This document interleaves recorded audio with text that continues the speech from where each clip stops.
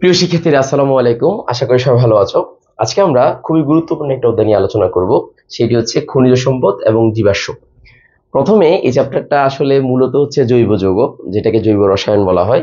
সেই জৈব রসায়নটা মূলত খনিতে পাওয়া যায়, অর্থাৎ বিশেষ করে কার্বোহাইড্রেট যে সমস্ত যৌগগুলো রয়েছে কার্বন এবং হাইড্রোজেনের সমন্বয়ে গঠিত যৌগসমূহ, সেগুলো সাধারণত আমরা খনিতে পাই। সেই কারণে এটাকে জীবাশ্ম বলা হচ্ছে। সো এটার বেসিকটা ভালো করে তুমি জেনে, তারপরে যদি তুমি প্রশ্ন সলভ করো, তাহলে সবকিছু তোমার কাছে সহজ মনে হবে। তো বিগত বছরের প্রশ্ন অ্যানালাইসিস করলে আমরা দেখতে পাই যে, এখান থেকে সাধারণত বিভিন্ন যৌগ থেকে বিভিন্ন উৎপাদ তৈরি, সেটা সবচেয়ে বেশি এসেছে। কার্বনের সংখ্যা কমানো এবং কার্বনের সংখ্যা বাড়ানো কোনো কোনো ক্ষেত্রে, তবে কার্বনের সংখ্যা কমানোটা সবচেয়ে বেশি এসেছে। এছাড়া জৈব যৌগের যে বিভিন্ন যৌগ, বিশেষ করে অ্যালকেন অ্যালকিন অ্যালকাইন এবং হচ্ছে অ্যালকোহল এবং হচ্ছে অ্যালডিহাইড আর একটা হচ্ছে ওইক অ্যাসিড যেটাকে জৈব অ্যাসিড বলছি, এই ধরনের প্রস্তুতিগুলো পরীক্ষায় বেশি এসেছে। তো আমরা শুরু থেকে শেষ পর্যন্ত ভালো করে ভিডিওটা দেখব, তাহলে আমাদের প্রত্যেকটা বিষয় কনসেপ্ট ক্লিয়ার সহ এবং আমাদের সিকিউটা সহজে সমাধান করতে পারব যদি আমরা এটা শুরু থেকে শেষ পর্যন্ত দেখি ইনশাল্লাহ তাহলে আমরা শুরু করছি। প্রথমে দেখো, জীবাশ্ম। এই জীবাশ্ম বলতে কি বোঝাচ্ছে, সেটা যদি তোমাদের মেইন বই থেকে পড়ি, তাহলে তোমাদের কাছে একটু সহজ হবে, যেহেতু তোমরা বইটা আগে পড়েছ। তারপর একটু দেখো যে খনিজ সম্পদ এবং জীবাশ্ম ফসিলস যেগুলোকে বলা হয়। তো এখানের ভিতরে একদম সহজ সহজ করে যদি আমরা বলি যে মৃতদেহ মাটিতে, প্রাণী এবং উদ্ভিদের মৃতদেহ মাটিতে দীর্ঘদিন ধরে যদি থাকে, তাহলে সেগুলো কি হয়ে যায়? ফুয়েলে পরিণত বা ফসিলে পরিণত হয় জীবাশ্ম। আর ওই ফসিলগুলো থেকে আমরা কার্বোহাইড্রেট যৌগসমূহ পেয়ে থাকি। অ্যালকেন অ্যালকিন অ্যালকাইন যৌগসমূহ পেয়ে থাকি এবং এগুলো থেকে আমরা পরবর্তীতে রূপান্তরের মাধ্যমে বিভিন্ন জৈব অ্যাসিড হতে শুরু করে বিভিন্ন ধরনের অ্যালডিহাইড, কিটোন এবং আমরা অ্যালকোহল প্রস্তুত করতে পারি। তো সেটাই হচ্ছে মূল বিষয়। তো এখন তুমি যদি দেখো, একটু খেয়াল করো, এগুলো তো সহজ জিনিস। এখন দেখো, প্রাকৃতিক গ্যাস যেটা আমাদের মেইন সেটার প্রধান উৎস দেখো, আশি পার্সেন্ট প্রাকৃতিক গ্যাসের প্রধান উৎস হচ্ছে মিথেন এছাড়াও এটার মধ্যে ইথেন রয়েছে প্রোপেন রয়েছে এবং বিউটেন এবং আইসোবিউটেন রয়েছে। দুইটাই বিউটেন আইসো মানে হচ্ছে শাখাহিত শাখাহিত বিউটেনকে আইসোবিউটেন বলা হয়। পেন্টেন বলা হচ্ছে। তার পেন্টেন তিন পার্সেন্ট কিন্তু বাংলাদেশে প্রাকৃতিক গ্যাস পাওয়া গেছে, তাতে ninety nine point nine nine percent methane থাকে। মানে বাংলাদেশে প্রাকৃতিক গ্যাস হচ্ছে মূলত মিথেন তো তাহলে এবার এই মিথেনগুলো এগুলো পেট্রোলিয়ামের উপাদান। তো এখন পেট্রোলিয়াম জিনিসটা কি? পেট্রোলিয়ামে ডেফিনেটলি প্রাকৃতিক গ্যাস। দেখো, প্রাকৃতিক গ্যাস থাকে যা পেট্রোলিয়ামের উপরিভাগে চাপ প্রয়োগ করে। কূপ খনন করা হলে প্রাকৃতিক গ্যাস পেট্রোলিয়ামকে ভূপৃষ্ঠের উপরিভাগে উঠে আসতে সাহায্য করে। যে পেট্রোলিয়াম খনি থেকে সরাসরি পাওয়া যায়, তাকে আমরা অপরিশোধিত তেল বলি, অপরিশোধিত তেল বলি। তো এই অপরিশোধিত তেল হচ্ছে কখনো কখনো সালফার, কিছু কিছু যৌগ থাকায় দুর্গন্ধযুক্ত হয়। এই পেট্রোলিয়াম মূলত বিভিন্ন হাইড্রোকার্বনের মিশ্রণ এবং এটা সরাসরি ব্যবহার উপযোগী নয়। তো এটা ব্যবহার উপযোগী করতে হলে কি করতে হবে? তাকে আমরা আংশিক পাতন পদ্ধতিতে কি পতন? পাতন। পাতন মানে কি? তার মানে উত্তপ্ত করব বাষ্পীভূত করব বাষ্পীভূত করে তাকে আমি আলাদা করব, সেটাকে পাতন বলা হয়। তো আমরা যে অংশ কলাম নামে একটা যেটাকে ফ্র্যাকশনাল ডিস্টিলেশন বলা হয়, ওই, ওইটার মাধ্যমে আমরা যদি এটা একটা কলাম তৈরি করি, কলাম তৈরি করলে দেখো যদি আমি উত্তপ্ত করি, তাহলে সবচেয়ে মানে যেটা সবচেয়ে যে গ্যাসের গণনাঙ্ক স্ফুটনাঙ্ক সবচেয়ে কম, সেটা সবার উপরে চলে যাবে। বিভিন্ন ভেদ করে। আর যেটার গণনাঙ্ক স্ফুটনাঙ্ক সবচেয়ে কম, বেশি, সেটা ভারী ভারী হিসাবে থাকবে, সেটা নিচে জমা হবে। যেমন বিটুমিনটা সবচেয়ে নিচে থাকে। জ্বালানি তেলটা তিনশো চল্লিশ ডিগ্রি সেলসিয়াস তাপমাত্রা উদ্দেয়ী হয়ে এখানে জমা হয়। মানে উদ্দেয়ী হয় তখন এই পাশে তরল আকারে জমা হয়। লুব্রিকেন্ট তেল দুশো সত্তর ডিগ্রি সেলসিয়াস তাপমাত্রা ইয়াটা হচ্ছে দুশো হচ্ছে ডিজেল তেল, একশো সত্তর হচ্ছে ক্যারোসিন ন্যাপথালিন হচ্ছে একশো বিশে সত্তর হচ্ছে গ্যাসোলিন আর পেট্রোলিয়াম যেটা যেটা যে গ্যাসগুলো আমরা ব্যবহার করি যেটাকে আমরা ন্যাচারাল গ্যাস হিসেবে চিনি, সেগুলো বিশ ডিগ্রি সেলসিয়াস তাপমাত্রা একদম সবার উপরিভাগে জমা হবে। তো এইভাবে কোনো একটা অপরিশোধিত তেল থেকে বা অপরিশোধিত খনিজ সম্পদ থেকে আমরা খুব সহজে বিভিন্ন যৌগগুলো আলাদা করতে পারি। সেটা হচ্ছে আমাদের একদম সাধারণ কথা, এটাকে ফ্র্যাকশনাল ডিস্টিলেশন বলা হয় বা আংশিক পাতন বলা হয়। কি বলা হয়? আংশিক পাতন। এটাকে কলাম বলা হয়, অংশ কলাম বলা হয়। এই কলামগুলোর এখানে ফাঁক ফোকর দিয়ে যেটা সবচেয়ে হালকা, সেটা সবচেয়ে উদ্দায়ী হয়ে যায়, সেটা এখান দিয়ে সহজে চলে যেতে পারবে। আর যেটা ভারী, সেটা এখানে কি হয়ে যায়? পাতিত হয়ে বা সেখানে এখান থেকে যদি তোমার বাষ্প আকারে যায়, এখানে চাপের কারণে সেটা আবার তরল হয়ে আবার নিচের দিকে পড়ে যায়। এইভাবে এক এক জায়গাতে এক এক রকমের তোমার খনিজ সম্পদগুলো আলাদা আলাদা করে পাওয়া যাবে। মানে এটাকে আমরা ভাগ করে ফেলব। এই হচ্ছে এটাকে বলা হয় আংশিক পাতন। তো পেট্রোলিয়ামের আংশিক পাতন, এটা তুমি দেখতে পাচ্ছ, এগুলো তোমরা জানো। এখন আসো আমাদের মেইন যেটা, সেটা হচ্ছে যে মেইন যে মানে ব্যাপারটা, সেটা হচ্ছে আমাদের হাইড্রোকার্বন মানে আমাদের মেইন পয়েন্ট হচ্ছে হাইড্রোকার্বন তো পেট্রোলিয়ামে কি কি থাকে? এটা তোমরা এমসিকিউর জন্য লাগবে। যে স্ফুটনাঙ্ক জিরো থেকে বিশ ডিগ্রি সেলসিয়াস তাপমাত্রা, যেটাকে আমরা লেখা এই গ্যাসকে চাপ প্রয়োগ করে তরলে পরিণত করে সিলিন্ডারে ভর্তি করা হয়, যেটাকে এলপিজি বলা হয়। এলপিজি মানে হচ্ছে লিকুইফাইড পেট্রোলিয়াম গ্যাস এলপিজি বলে। রান্নার কাজে এবং অন্যান্য কাজে ব্যবহার করা হয়। তারপর হচ্ছে পেট্রোল যেটাকে গ্যাসোলিন বলা হয়, যার গণনাঙ্ক গ্যাস পূর্ণাঙ্ক হচ্ছে পূর্ণাঙ্ক হচ্ছে একুশ থেকে সত্তর ডিগ্রি সেলসিয়াস তাপমাত্রা। এখানে কার্বন কত? পাঁচ থেকে দশ পর্যন্ত থাকতে পারে। তার মানে দেখো কার্বন যদি একটা থাকে মিথ কার্বন দুইটা থাকলে ইথ কার্বন তিনটা থাকলে prop meth eth prop but pent hex hept oct non dec এই এই দশটা শুধু মনে রাখবা। একটা কার্বন যদি হয়, তাহলে মিথ বলা হয়। তাহলে একটা, এটা যদি অ্যালকেন হয়, তাহলে মিথেন দুইটা কার্বন যদি থাকে, তাহলে এটাকে ইথেন বলা হয়। মানে ইথ যদি হয় ইথ হবে। তিনটা কার্বন হলে প্রোপ হবে। চারটা কার্বন হলে বিউট হবে। পাঁচটা হলে প্যান্ট হবে, ছয়টা হলে ছ্যাক্স হবে।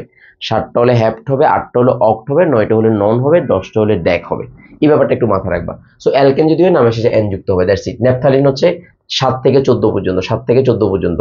তাহলে পেট্রোলিয়ামে শতকরা দশ ভাগ ন্যাপথালিন থাকে এমসিকিউর জন্য ইম্পর্টেন্ট পেট্রোলিয়াম এরপর দেখো ক্যারোসিন ক্যারোসিনের স্ফুটনাঙ্ক হচ্ছে একশো একুশ থেকে একশো সত্তর ডিগ্রি সেলসিয়াস তাপমাত্রা, এগারো থেকে সতেরো পর্যন্ত। তাহলে এটা হচ্ছে কত? এটা শতকরা তেরো ভাগ থাকে। ডিজেলটা একশো একাত্তর থেকে দুশো সত্তর পর্যন্ত। এটার ভিতরে সতেরো থেকে বিশ পর্যন্ত থাকে কার্বন। আর জ্বালানি হিসেবে ব্যবহার করে পিচ্ছিলকারক পদার্থ হিসেবে ব্যবহার করা দ্রাবক হিসেবে ব্যবহার করা হয়। প্যারাফিন প্যারাফিন মানে হচ্ছে প্যারাফিন মোম। এটার গণনাঙ্ক স্ফুটনাঙ্ক কত থাকে? স্ফুটনাঙ্ক তোমার দুশো একাত্তর থেকে তিনশো চল্লিশ ডিগ্রি সেলসিয়াস তাপমাত্রা বেশি থাকে। এখানে কার্বনের সংখ্যা বিশ থেকে তিরিশ পর্যন্ত থাকে। প্যারাফিন মোম, টয়লেট্রিস এবং ব্যাস্টিন তৈরিতে ব্যবহার করা হয়, এই যে এমসিকিউর জন্য দরকার হবে। তারপর হচ্ছে পিচ, যেগুলো আমরা বিটুমিন বলি। সেগুলো হচ্ছে এই পিচের এটা স্ফুটনাঙ্ক হচ্ছে তিনশো চল্লিশ থেকে ডিগ্রি সেলসিয়াসের উপরে। আর এটাতে কার্বনের সংখ্যা কি? তিরিশ এর বেশি হবে তিরিশের বেশি হবে। এবং রাস্তা তৈরিতে এটা কাজে লাগে। বাস রাস্তাতে যেটাকে আমরা আলকাত্রা বলি সম্ভবত। আলকাত্রা বলি হ্যাঁ পিচ, এটাকে পিচ বলা হয়, আলকাত্রা। সবচেয়ে ভারী। তো তাহলে এটা এমসিকিউর জন্য লাগবে। আমাদের এই মূল পড়া হচ্ছে এখন হাইড্রোকার্বন এখন দেখো হাইড্রোকার্বনের ভিতরকে মানে হাইড্রোজেন এবং কার্বনের সমন্বয়ে গঠিত যৌগগুলোকে হাইড্রোকার্বন বলা হয়। ইস ওকে ফাইন তো কিন্তু কার্বন থাকলে যে জৈব যৌগ হবে, এরকম কোনো কথা নেই। তাহলে মনে রাখবা, সকল জৈব যৌগ বা জৈব রসায়ন জৈব যৌগ, সেটা হচ্ছে কার্বনের যৌগ। কিন্তু সকল কার্বনের যৌগ জৈব যৌগ নয়। যেমন মনে করো কার্বনেট যেমন আমি যদি সোডিয়াম কার্বনেট দেখি, দেখো সোডিয়াম কার্বনেট দেখি এখানে আমি সোডিয়াম কার্বনেট লিখলাম। সোডিয়াম কার্বনেটটা কিন্তু জৈব যৌগ নয়, যদি এটার মধ্যে কার্বন আছে। তাহলে কার্বন ডাইঅক্সাইড এটা কিন্তু কার্বন আছে, কিন্তু তারপর এটা জৈব যৌগ নয়। তাহলে কারণটা কি? কারণটা হচ্ছে জৈব যৌগ হইতে হলে কতগুলো মানে শর্ট শর্ত আছে। সমযোজী হইতে হবে, দহনের পর অবশেষ থাকতে পারবে না, পানিতে অদ্রবণীয় হইতে হবে। আমি আবার বলি, সমযোজী হইতে হবে। দহনের পর অবশেষ থাকতে পারবে না। মানে দহনের পর কোনো অবশেষ থাকবে না। মানে দহন সম্পূর্ণরূপে দহন হবে। তারপর হচ্ছে, এটা কি হবে? যে এটাকে যদি আমরা পানিতে যদি মিশ্রিত করি পানিতে অদ্রবণীয় হবে। এই হচ্ছে সাধারণ কথা যে জৈব যৌগ। এবং অবশ্যই তার মধ্যে কার্বন থাকতে হবে। তো বাট এটা এটা কিনা আয়নিক যৌগ? এটা আয়নিক যৌগ। বাট এটা সমযোজী যৌগ হলেও এটা দহন হয় না। এই কারণে এটা কি? এটাকে আমরা জৈব যৌগ বলতে পারব না। সো দহন হইতে হবে জৈব যৌগ হইতে হবে তাহলে হাইড্রোকার্বন যেটাকে আমরা বলছি, সেটা মূলত হচ্ছে জৈব জৈব যৌগ। সেটা হচ্ছে মূলত জৈব যৌগ। এটাকে আমরা জৈব যৌগ বলি। জৈব যৌগ বলি। ইন্টারমিডিয়েটে যখন তোমরা উঠবা, তখন এটাকে আমরা জৈব যৌগ হিসেবে চিহ্নিত করব। কি হিসেবে চিহ্নিত করব? জৈব যৌগ হিসেবে চিহ্নিত করব। তাহলে একটু চিন্তা করো, সহজ করে চিন্তা করো, যে কার্বন এবং হাইড্রোজেনের সমন্বয়ে গঠিত যৌগগুলোকে জৈব যৌগ বলা হয়। এখন একটু খেয়াল করো, যে এটাকে দুই ভাগে ভাগ করা হয় একটা হচ্ছে এলিফেটিক হাইড্রোকার্বন আর হচ্ছে অ্যারোমেটিক হাইড্রোকার্বন এলিফেটিক মানে হচ্ছে কি? এলিভেটিককে আমরা মুক্ত শিকল বলতে পারি, মুক্ত শিকল, বদ্ধ শিকলও আছে। এলিভেটিককে আমরা দুই ভাগে ভাগ করতে পারি, একটা হচ্ছে মুক্ত শিকল আর একটা হচ্ছে বদ্ধ শিকল। কিন্তু এই অ্যারোমেটিকের আলাদা বৈশিষ্ট্য আছে অ্যারোমেটিক অ্যারোমেটিক এই অ্যারোমেটিকের আলাদা বৈশিষ্ট্য আছে অ্যারোমেটিক তার মানে হচ্ছে চক্রাকার শিকলবদ্ধ যোগ মানে চক্রাকার যোগ হবে, তবে অসম্পৃক্ত যোগ। তার মানে এটার মধ্যে পাই ইলেকট্রন থাকবে। এখন প্রশ্ন হচ্ছে পাই ইলেকট্রনটা কি, সেটা তোমাকে জানতে হবে। তার মানে দ্বিবন্ধন থাকবে। তো আমি যদি সহজে বলি যে সমতলীয় সুষম চাকরির যোগ সমতলীয় সুষম চাকরির যোগ। দেখো, সমতলীয় সমতলীয় সুষম চাকরিক যোগ। দেখো, সুষম চাকরিক যোগ চাকরিক যোগ চাকরিক যোগ। মনে রাখবা কি বলতো? সমতলীয় সুষম চাকরিক যোগ হইতে হবে। আমি আবারও বলছি, কি বলতো? সমতলীয় সুষম চাকরিক যোগ, জৈব যোগের আবার বলো, সমতলীয় সুষম চাকরিক যোগ, এটা একটা জৈব যোগ। এরপরে দ্বিতীয় যে পয়েন্টটা, একটু খেয়াল রাখবা, যে সমতলীয় সুষম চাকরির যোগ। দ্বিতীয় পয়েন্ট হচ্ছে, এটার ভিতরে এটা সঞ্চারণশীল সঞ্চারণশীল পাই ইলেকট্রন থাকবে। মানে ইলেকট্রনগুলো রেজোনেন্স হবে। রেজোনেন্স বলতে কি বোঝাচ্ছে? মানে দ্বিবন্ধনে যে ইলেকট্রনগুলো থাকে, এগুলোকে পাই ইলেকট্রন থাকে। যেমন মনে করো কার্বন কার্বন যদি যেমন বেনজিন এখানে কার্বন একটা, এখানে কার্বন একটা, এখানে কার্বন এখানে একটা কার্বন এখানে একটা কার্বন এখানে একটা কার্বন এখানে একটা কার্বন এই জায়গাতে একটা বন্ধন, এই জায়গাতে একটা বন্ধন, এই জায়গায় একটা বন্ধন। তাহলে একটা বন্ধন তৈরি করতে দুইটি ইলেকট্রন লাগে। একটা বন্ধন তৈরি করতে দুইটি ইলেকট্রন লাগে। একটা, দুইটা একটা দুইটা একটা, দুইটা। এই যে বন্ধনটা মানে এটাও তৈরি করতে দুইটি ইলেকট্রন লাগে। বাট এখানে প্রত্যেকটাতে একটা একটা হাইড্রোজেন আছে, একটা একটা হাইড্রোজেন আছে, এখানে একটা একটা হাইড্রোজেন আছে।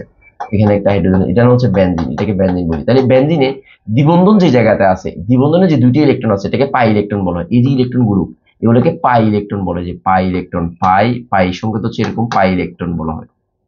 পাই ইলেকট্রন বলে পাই ইলেকট্রন বলা হয়। আমি আবার বলছি, এটাকে পাই ইলেকট্রন বলা হয়। মনে রাখতে হবে, এটা হচ্ছে সুষম চাকরি হইতে হবে মানে চক্রকার হইতে হবে, এবং পাই ইলেকট্রন থাকতে হবে। এবং পাই ইলেকট্রনের মান হচ্ছে এই পাই সঞ্চারণশীল হইতে হবে যে সঞ্চারণশীল মানে গুণোন্নত অবস্থা থাকতে হবে, সঞ্চারণশীল সঞ্চারণশীল হইতে হবে। এই সঞ্চারণশীলতার বাংলা হচ্ছে অনু, অনুরণন অনুরণন।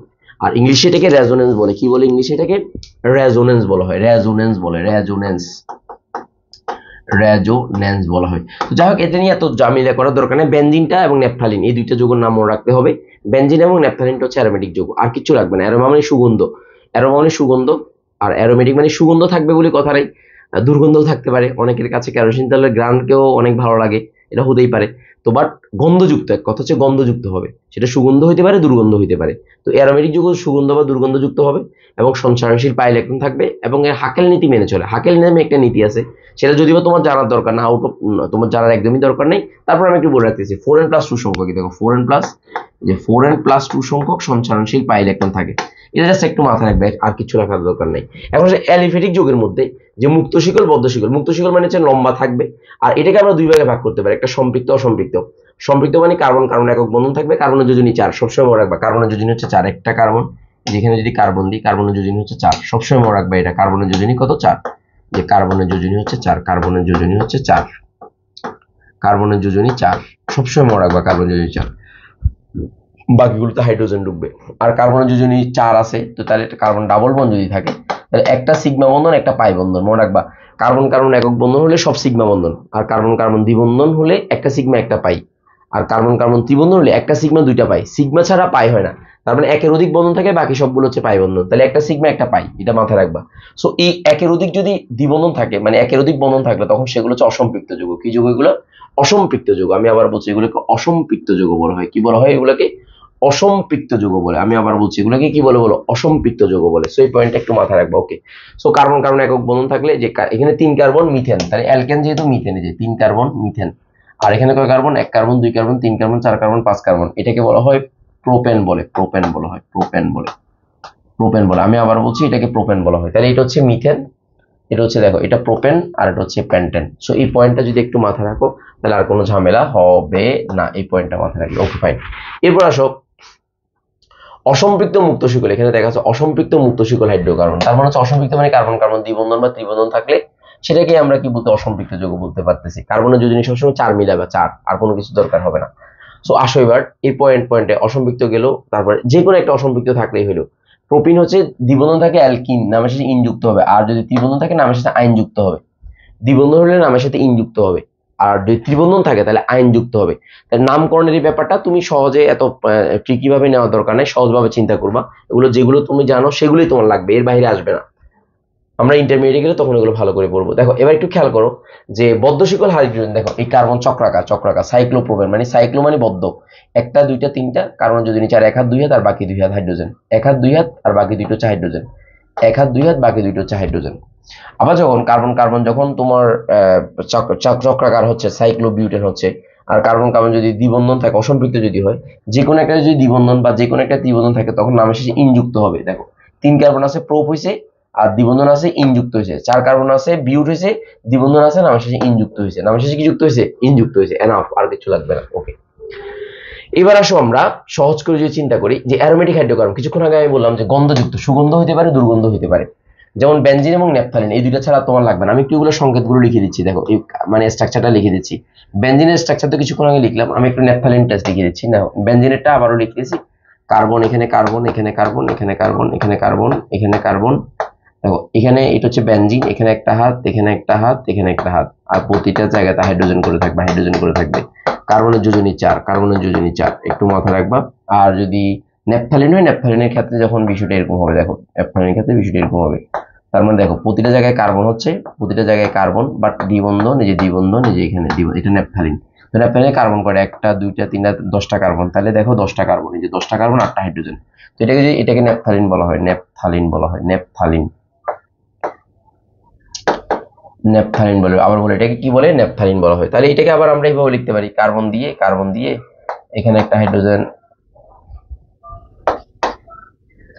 দেখো এখানে একটা কার্বন এখানে এখানে একটা কার্বন এখানে একটা কার্বন এখানে একটা কার্বন দেন আবার এখানে একটা কার্বন আবার এখানে একটা কার্বন আবার এখানে একটা কার্বন আবার এখানে একটা কার্বন এখানে একটা কার্বন প্রত্যেকটা জায়গাতে হাইড্রোজেন দাও এখানে একটা হাইড্রোজেন ঢুকবে এখানে একটা হাইড্রোজেন ঢুকবে এখানে একটা হাইড্রোজেন ঢুকবে এখানে একটা এখানে ঢুকবে না এখানে একটা হাইড্রোজেন ঢুকবে, এখানে একটা হাইড্রোজেন ঢুকবে, এখানে একটা হাইড্রোজেন ঢুকবে। তাহলে এখন দেখো, এখানে একটা দ্বিবন্ধন, এখানে একটা দ্বিবন্ধন, এখানে একটা এখানে একটা এখানে একটা। দেখো, এটার নামই নেপথালিন এটা এভাবে এটাকে এরকম লিখা হয় বা এভাবে লিখা হয়। তো ইলেকট্রন যদি গুণনত অবস্থায় থাকে, তখন এটাকে এইভাবে লিখে। এভাবে দিয়ে এভাবে দিয়ে, দেখো, এভাবে দিয়ে এভাবে লিখে। এই ন্যাপথালিনকে এভাবে লিখে যায় এভাবে গোল চিহ্ন দেওয়া হয়। গোল চিহ্ন কেন দেওয়া হয়? কারণ হচ্ছে ইলেকট্রনগুলো এই যে এখানে পাই ইলেকট্রনগুলো রেজোনেন্স হতে পারে বা সঞ্চালনশীল হতে পারে মানে গুণনত অবস্থা থাকতে পারে। এই কারণে এগুলোকে ন্যাপথালিন বলা হয় মানে এই বেনজিন বলা হয়, এই সরি অ্যারোমেটিক যৌগ বলা হয়। মানে পাই ইলেকট্রনের রেজোনেন্স ঘটবে। আবার বলো, কি বলো তো? পাই ইলেকট্রনের রেজোনেন্স ঘটবে। আমি আবার বলছি পাই ইলেকট্রনে কি ঘটবে বলো? রেজোনেন্স ঘটবে। আবারও বলছি, কি বলো তো? পাই ইলেকট্রনের রেজোনেন্স ঘটবে। মাথায় রাখবা, কি বলো তো? পাই ইলেকট্রনের রেজোনেন্স ঘটবে। না আর কোনো ঝামেলা নাই। ওকে ফাইন এবার আসো, এটা আমরা বুঝতে পারলাম। এবার হচ্ছে দেখো, আমি যেগুলো আঁকছি, দেখছ কিনা? এই যে নেপথালিন বেনজিন নেপথালিন আমি যেভাবে এঁকে দিলাম, এটা এরপর হচ্ছে এটাকে এইভাবে লিখে গোল চিহ্ন দেওয়া হয়। মানে এই দ্বিবন্ধনটা না দিলে গোল চিহ্ন দিলেও কোনো অসুবিধা নেই, একই কথা। এবার আসো সমগোত্রীয় শ্রেণি। সমগোত্রীয় শ্রেণি বলতে কার্যকরীমূলক একই। মানে একই কার্যকরীমূলক বিশ্ব যৌগগুলোকে সমগোত্রীয় শ্রেণি বলে। মানে একই জাতের বলা হয়। কার্যকরীমূলকের কাজ কি? মানে যে জৈব যৌগ উপস্থিত থেকে ওই জৈব যৌগের বিক্রিয়া এবং ধর্ম নির্ধারণ করবে। তাকে কার্যকরীমূলক বলা হয়। জৈব যৌগ উপস্থিত থেকে ওই যোগের বিক্রিয়া এবং কার্যাবলী নির্ভর করবে। জৈব যৌগ উপস্থিত থেকে ওই যোগের বিক্রিয়া এবং কার্যাবলী নির্ধারণ করবে। তাকে আমরা কি বলতে পারতেছি? তাকে আমরা সমগোত্রীয় শ্রেণি বলি। কি বলি বলতো? সমগোত্রীয় শ্রেণি বলি। আমি আবার বলছি, এটাকে আমরা সমগোত্রীয় শ্রেণি বলি। আমি আবার বলছি, কি বলি এটাকে আমরা? সমগোত্রীয় শ্রেণি বলি। কি বলি বলো? সমগোত্রীয় শ্রেণি বলি। একদম সোজা। কি বলি বলতো সমগোত্রীয় শ্রেণি বলি। আর কোনো কিছু লাগবে না। ওকে ফাইন এবার একটু খেয়াল করো। যে এই যেমন অ্যালকেন, অ্যালকেনের সংখ্যা হচ্ছে এটা যে এই সমগত alkane C N S twice n plus two alkane.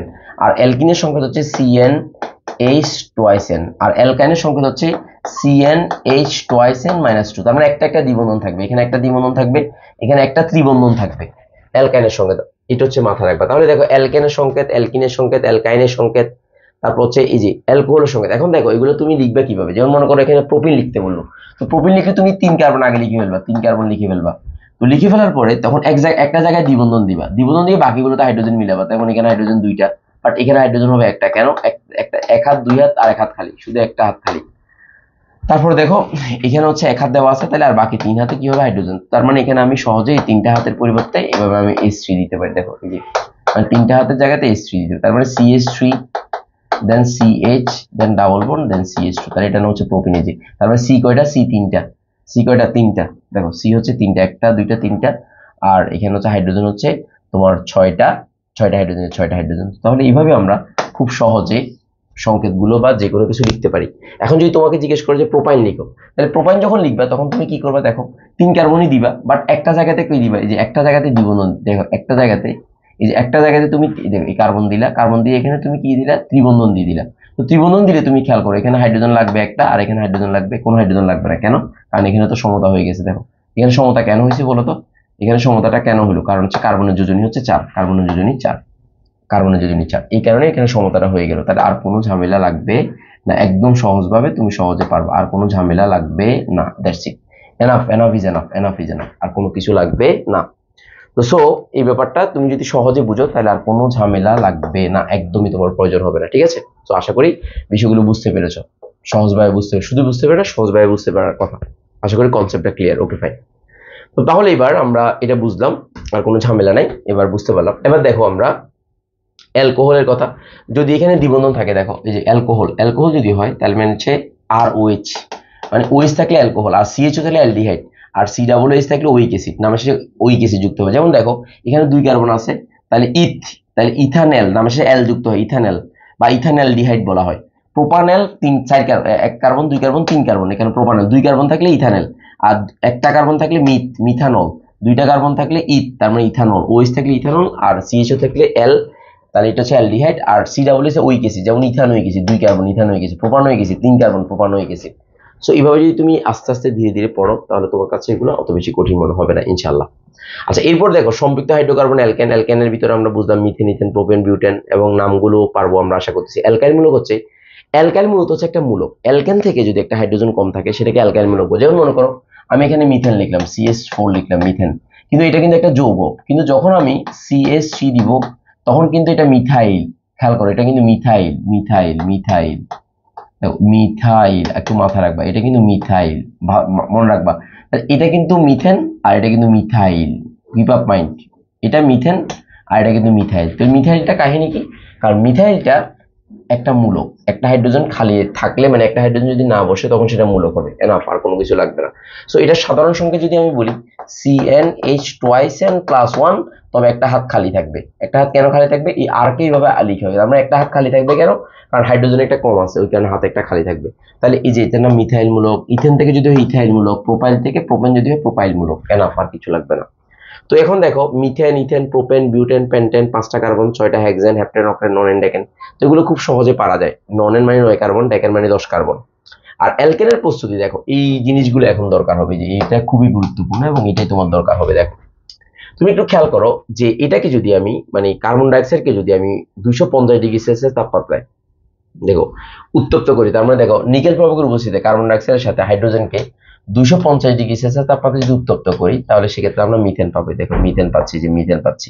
Methane হচ্ছে প্রাকৃতিক গ্যাস, যেটাকে আমরা মিথেন বলি। কার্বন ডাইঅক্সাইডকে যদি আমরা নিকেল প্রভাবের উপস্থিতিতে দুইশো পঞ্চাশ ডিগ্রি সেলসিয়াস তাপমাত্রা উত্তপ্ত করি, তাহলে আমরা কি পাবো? মিথেন পাবো। সো এই মিথেনটা মানে একদম ইউনিক আর অন্য কোনোভাবে শুধু মিথেনই তৈরি করা যাবে এখান থেকে এই বিক্রিয়ার সাহায্যে। কিন্তু কিছু কিছু বিক্রিয়া আছে, যেগুলো থেকে তুমি একাধিক যুগ উৎপন্ন মানে একটা বিক্রিয়া শিখলে অনেকগুলো বিক্রিয়া তুমি পারবা, এগুলো লাগবে, একটু খেয়াল করো। যে এখন দেখো, এটা হচ্ছে দ্বিবন্ধন। তো দ্বিবন্ধন মানে সংযোজন বিক্রিয়া, মনে রাখবে, এটা হচ্ছে সংযোজন বিক্রিয়া, দেখো সংযোজন বিক্রিয়া। সংযোজন বিক্রিয়া বলা হয়, সংযোজন সংযোজন বা জুতো বিক্রিয়া বলা হয়, জুত বিক্রিয়া বলা হয়, জুতো বিক্রিয়া বলা হয়।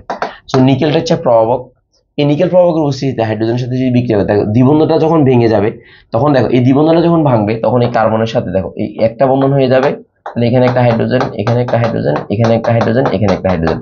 এই দ্বিবন্ধনটা ভেঙে যাওয়ার কারণে এখানে একটা হাত তৈরি হবে, এখানে একটা হাত তৈরি হবে, দুই হাত, দুই হাতে দুইটা হাইড্রোজেন যুক্ত হবে, এখানে একটা হাইড্রোজেন, এখানে একটা হাইড্রোজেন। তো তাহলে আমরা কি পাবো? ইথেন থেকে, আমরা কি পাবো? ইথিন থেকে আমরা ইথেনটা পাবো। ঠিক সেম ভাবে অ্যালকাইন থেকেও আমরা কি পেতে পারি? সেম প্রভাবকের উপস্থিতিতে ইথেন পে তাহলে এখানে কয়টা বন্ধন ভাঙবে? দুইটা বন্ধন ভাঙবে। তো দুইটা বন্ধন যদি ভাঙে, তাহলে দুইটা হাত খালি হবে। তো দুইটা হাত খালি হলে একটা হাতে হাইড্রোজেন আছে। তার মানে হচ্ছে এখানে তো অলরেডি ত্রিবন্ধন আছে। তো ত্রিবন্ধনের ভিতরে একটা হাইড্রোজেন অলরেডি আছে। একটা হাইড্রোজেন অলরেডি মনে করো আছে। এখানে একটা হাইড্রোজেন অলরেডি আছে। যে একটা হাইড্রোজেন অলরেডি যে একটা হাইড্রোজেন অলরেডি আছে। তাহলে আর বাকি দুইটা বন্ধন, এই দুইটা বন্ধন যখন ভেঙে যাবে, তখন এখানে একটা হাত খালি হবে, এখানে একটা হাত খালি হবে, এখানে একটা এখানে একটা। তার মানে একটা বন্ধন ভাঙলে দুই পাশে দুইটা হাত খালি হবে, আর দুইটা বন্ধন ভাঙলে দুই পাশে চারটা হাত খালি মানে এটা দুইটা হাত, এটা দুইটা হাত। ওই হাতগুলোতে হাইড্রোজেন ঢুকবে হাইড্রোজেন ঢুকবে হাইড্রোজেন ঢুকবে হাইড্রোজেন ঢুকবে। এটাকে বলা হয় সংযোজন বিক্রিয়া। মনে করবা, মনে রাখবা অ্যালকিন এবং অ্যালকাইন সংযোজন বিক্রিয়া দেয় মনে রাখবা অ্যালকিন এবং অ্যালকাইন সংযোজন মানে যে জায়গাতে দ্বিবন্ধন আছে, সেই জায়গাতে মূলত বিক্রিয়াগুলো করবে। তো আমি যদি এখন তোমাকে একটু সহজ করে বলি, আরও সহজ করে বলি, দেখো, এদিকে দেখো, আরও সহজ করে তোমাকে মনে- করো আমি এখানে C S three C S two then C দিয়ে ডাবল বন দিয়ে ত্রিফল বন দিয়ে সিএস দিলাম। তো তুমি একটু খেয়াল করো, এই জায়গাতে কিন্তু ত্রিবন্ধন এই জায়গাতে। তো তাহলে এটা হচ্ছে, এটার নাম হচ্ছে বিউটাইন, এটার নাম হচ্ছে বিউটাইন বিউটাইন, এটার নাম হচ্ছে বিউটাইন। একটু ভালো করে খেয়াল রাখো, এটার নাম কি বলতো? বিউটাইন। এই বিউটাইনকে যদি আমরা হাইড্রোজেনের সাথে বিক্রিয়া দিই, দুইটা হাইড্রোজেন, তাও নিকেল প্রভাবের উপস্থিতিতে একশো আশি ডিগ্রি সেলসিয়াস তাপমাত্রা উত্তপ্ত করি। তাহলে দেখো যে জায়গাতে ত্রিবন্ধন, ওই জায়গাতে মূলত হাইড্রোজেন ডুববে। তাহলে দেখো, এটা আমি যদি সহজ করে দিই, তাহলে দেখো, এই সিএস থ্রি এখানে সিএস থ্রি আর এখানে সি দেখো সিএস থ্রি এখানে সিএস টু হবে। কেন বুঝতেছো? কারণ এখানে সিএস টু হওয়ার মূল কারণ হচ্ছে যে যোজনী।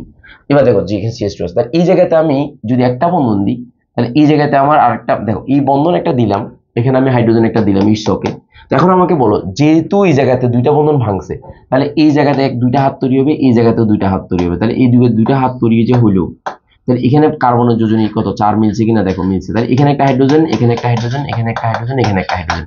সো জিনিসটা কীভাবে না লিখি আমরা? সিএস থ্রি দেখো C S two then C S two then C S three লেখা যায় না। তো তার মানে যে জায়গাতে দ্বিবন্ধন বা ত্রিবন্ধন থাকবে, কার্বনের সংখ্যা যতই হোক না কেন ডাজেন্ট ম্যাটার ম্যাটার হচ্ছে যে জায়গাতে দ্বিবন্ধন বা ত্রিবন্ধন থাকবে, মূলত সেই জায়গাতে তোমার হাইড্রোজেনগুলো ঢুকবে। আমি আবার বলছি, মূলত যে জায়গাতে দ্বিবন্ধন বা ত্রিবন্ধন থাকবে, সেই জায়গাতে মূলত হাইড্রোজেন ইয়াগুলো ঢুকবে। আমি আবার বলছি যে জায়গাতে মূলত দ্বিবন্ধন বা ত্রিবন্ধন সেটাই মূলত এখানে ঢুকবে। আর কোনো কিছু দরকার হবে না, সোজা কথা, দরকার হবে না। একদম এনাফ ইজ আর কিছু লাগবে না। ওকে ফাইন সো এই ব্যাপারটা যদি একটু বুঝো, তাহলে তোমার কাছে অনেক সহজ মনে হবে। শুধু সহজ না, অনেক সহজ মনে হবে। ওকে ফাইন এবার একটু খেয়াল করো ডিকার ডিকার্বক্সিলেশন বিক্রিয়া। এখানে দেখো ডিকার ডিকার্বক্সিলেশন বিক্রিয়া।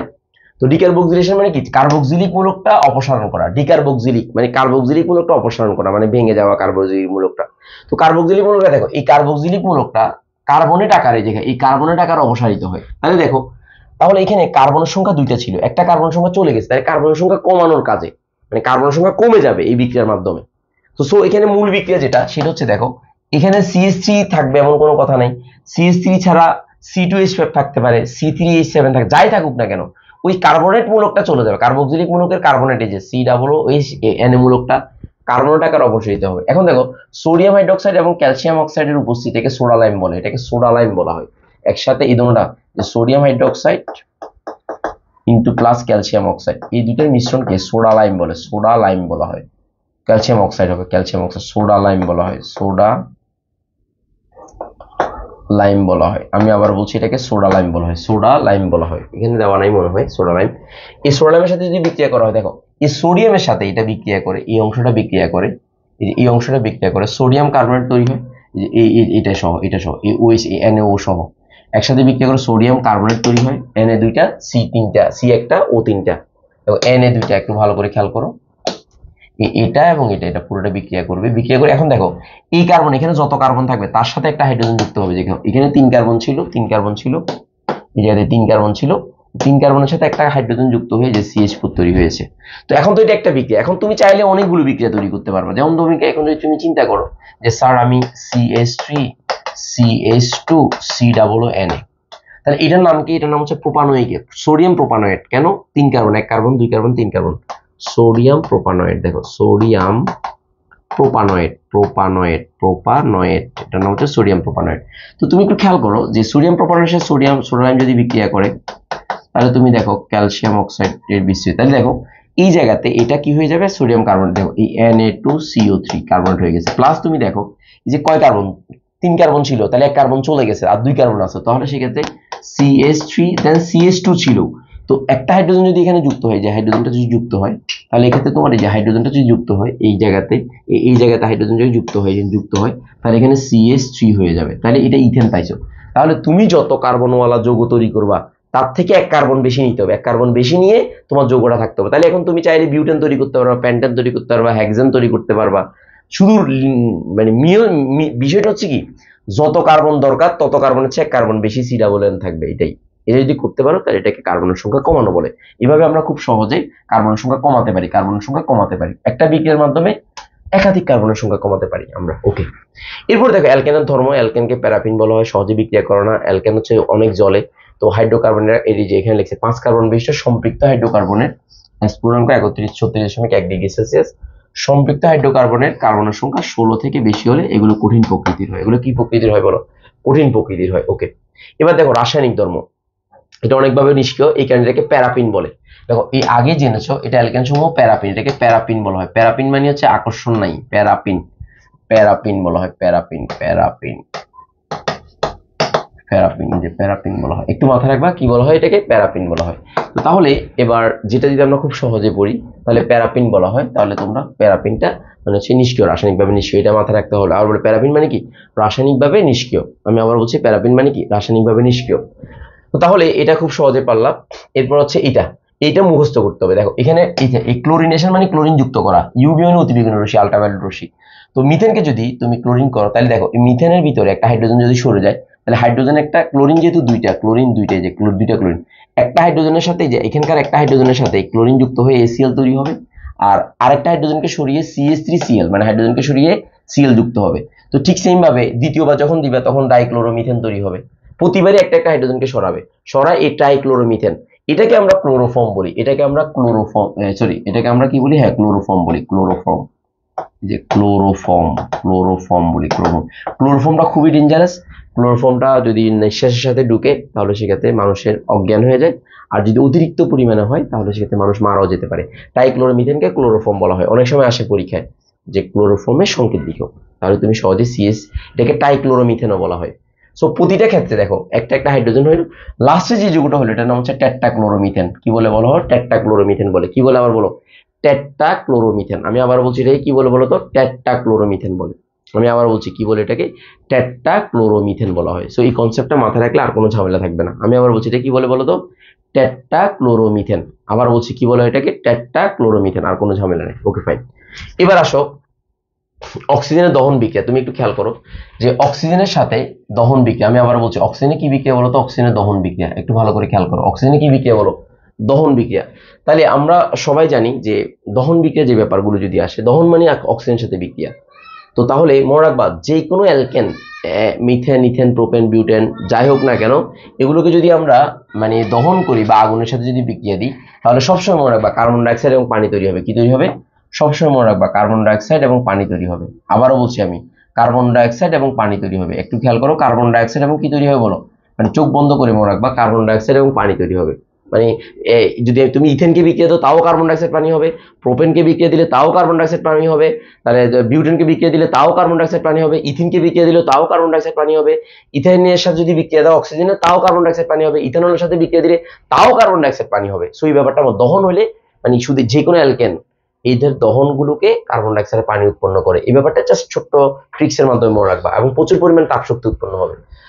এবার দেখো, অ্যালকিনের কথা বলছিলাম, যে অ্যালকিনের সংখ্যা যে কার্বন একটা একটা মানে দুইটা হাইড্রোজেন কম থাকবে অ্যালকেন থেকে, তো একটা দেখো, এই এখানে লেখা আছে, অ্যালকিনকে অনেক সময় ওলিফিন বলে, যে ওলিফিন এই যে অ্যালকিনকে অনেক সময় ওলিফিন বলে।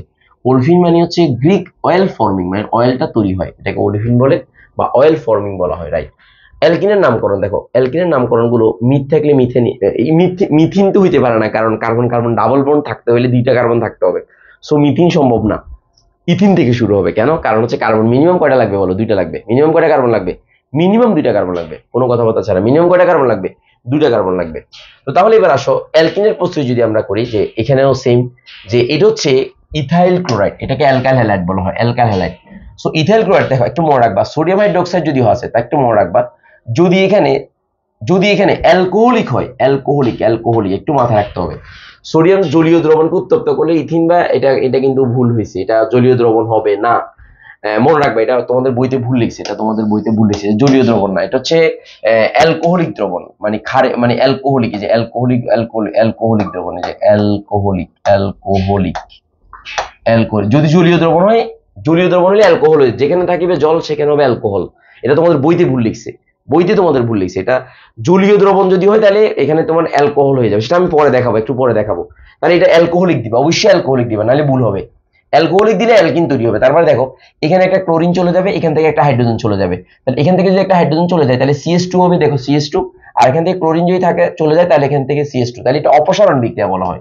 অপসারণ বিক্রিয়া বলা হয়। অপসারণ মানে দুইটা বিক্রিয়া হয় অপসারণ বিক্রিয়া বলে, এটাকে অপসারণ বিক্রিয়া বলে। কেন অপসারণ? কারণ হচ্ছে এখান থেকে একটা হাইড্রোজেন চলে যাবে, এখান থেকে একটা ক্লোরিন চলে যাবে। ফলে এটা অপসারিত হবে। সো এই কারণে এটাকে আমরা কি বলব? অপসারণ বিক্রিয়া বলব। কি বলব বলো? অপসারণ বিক্রিয়া বলব। আমি আবারও বলছি, অপসারণ বিক্রিয়া বলব। আমি আবারও বলছি, অপসারণ বিক্রিয়া বলব। আর কোনো কথা নেই। অপসারণ। অপসারণ মানে অপসারণ।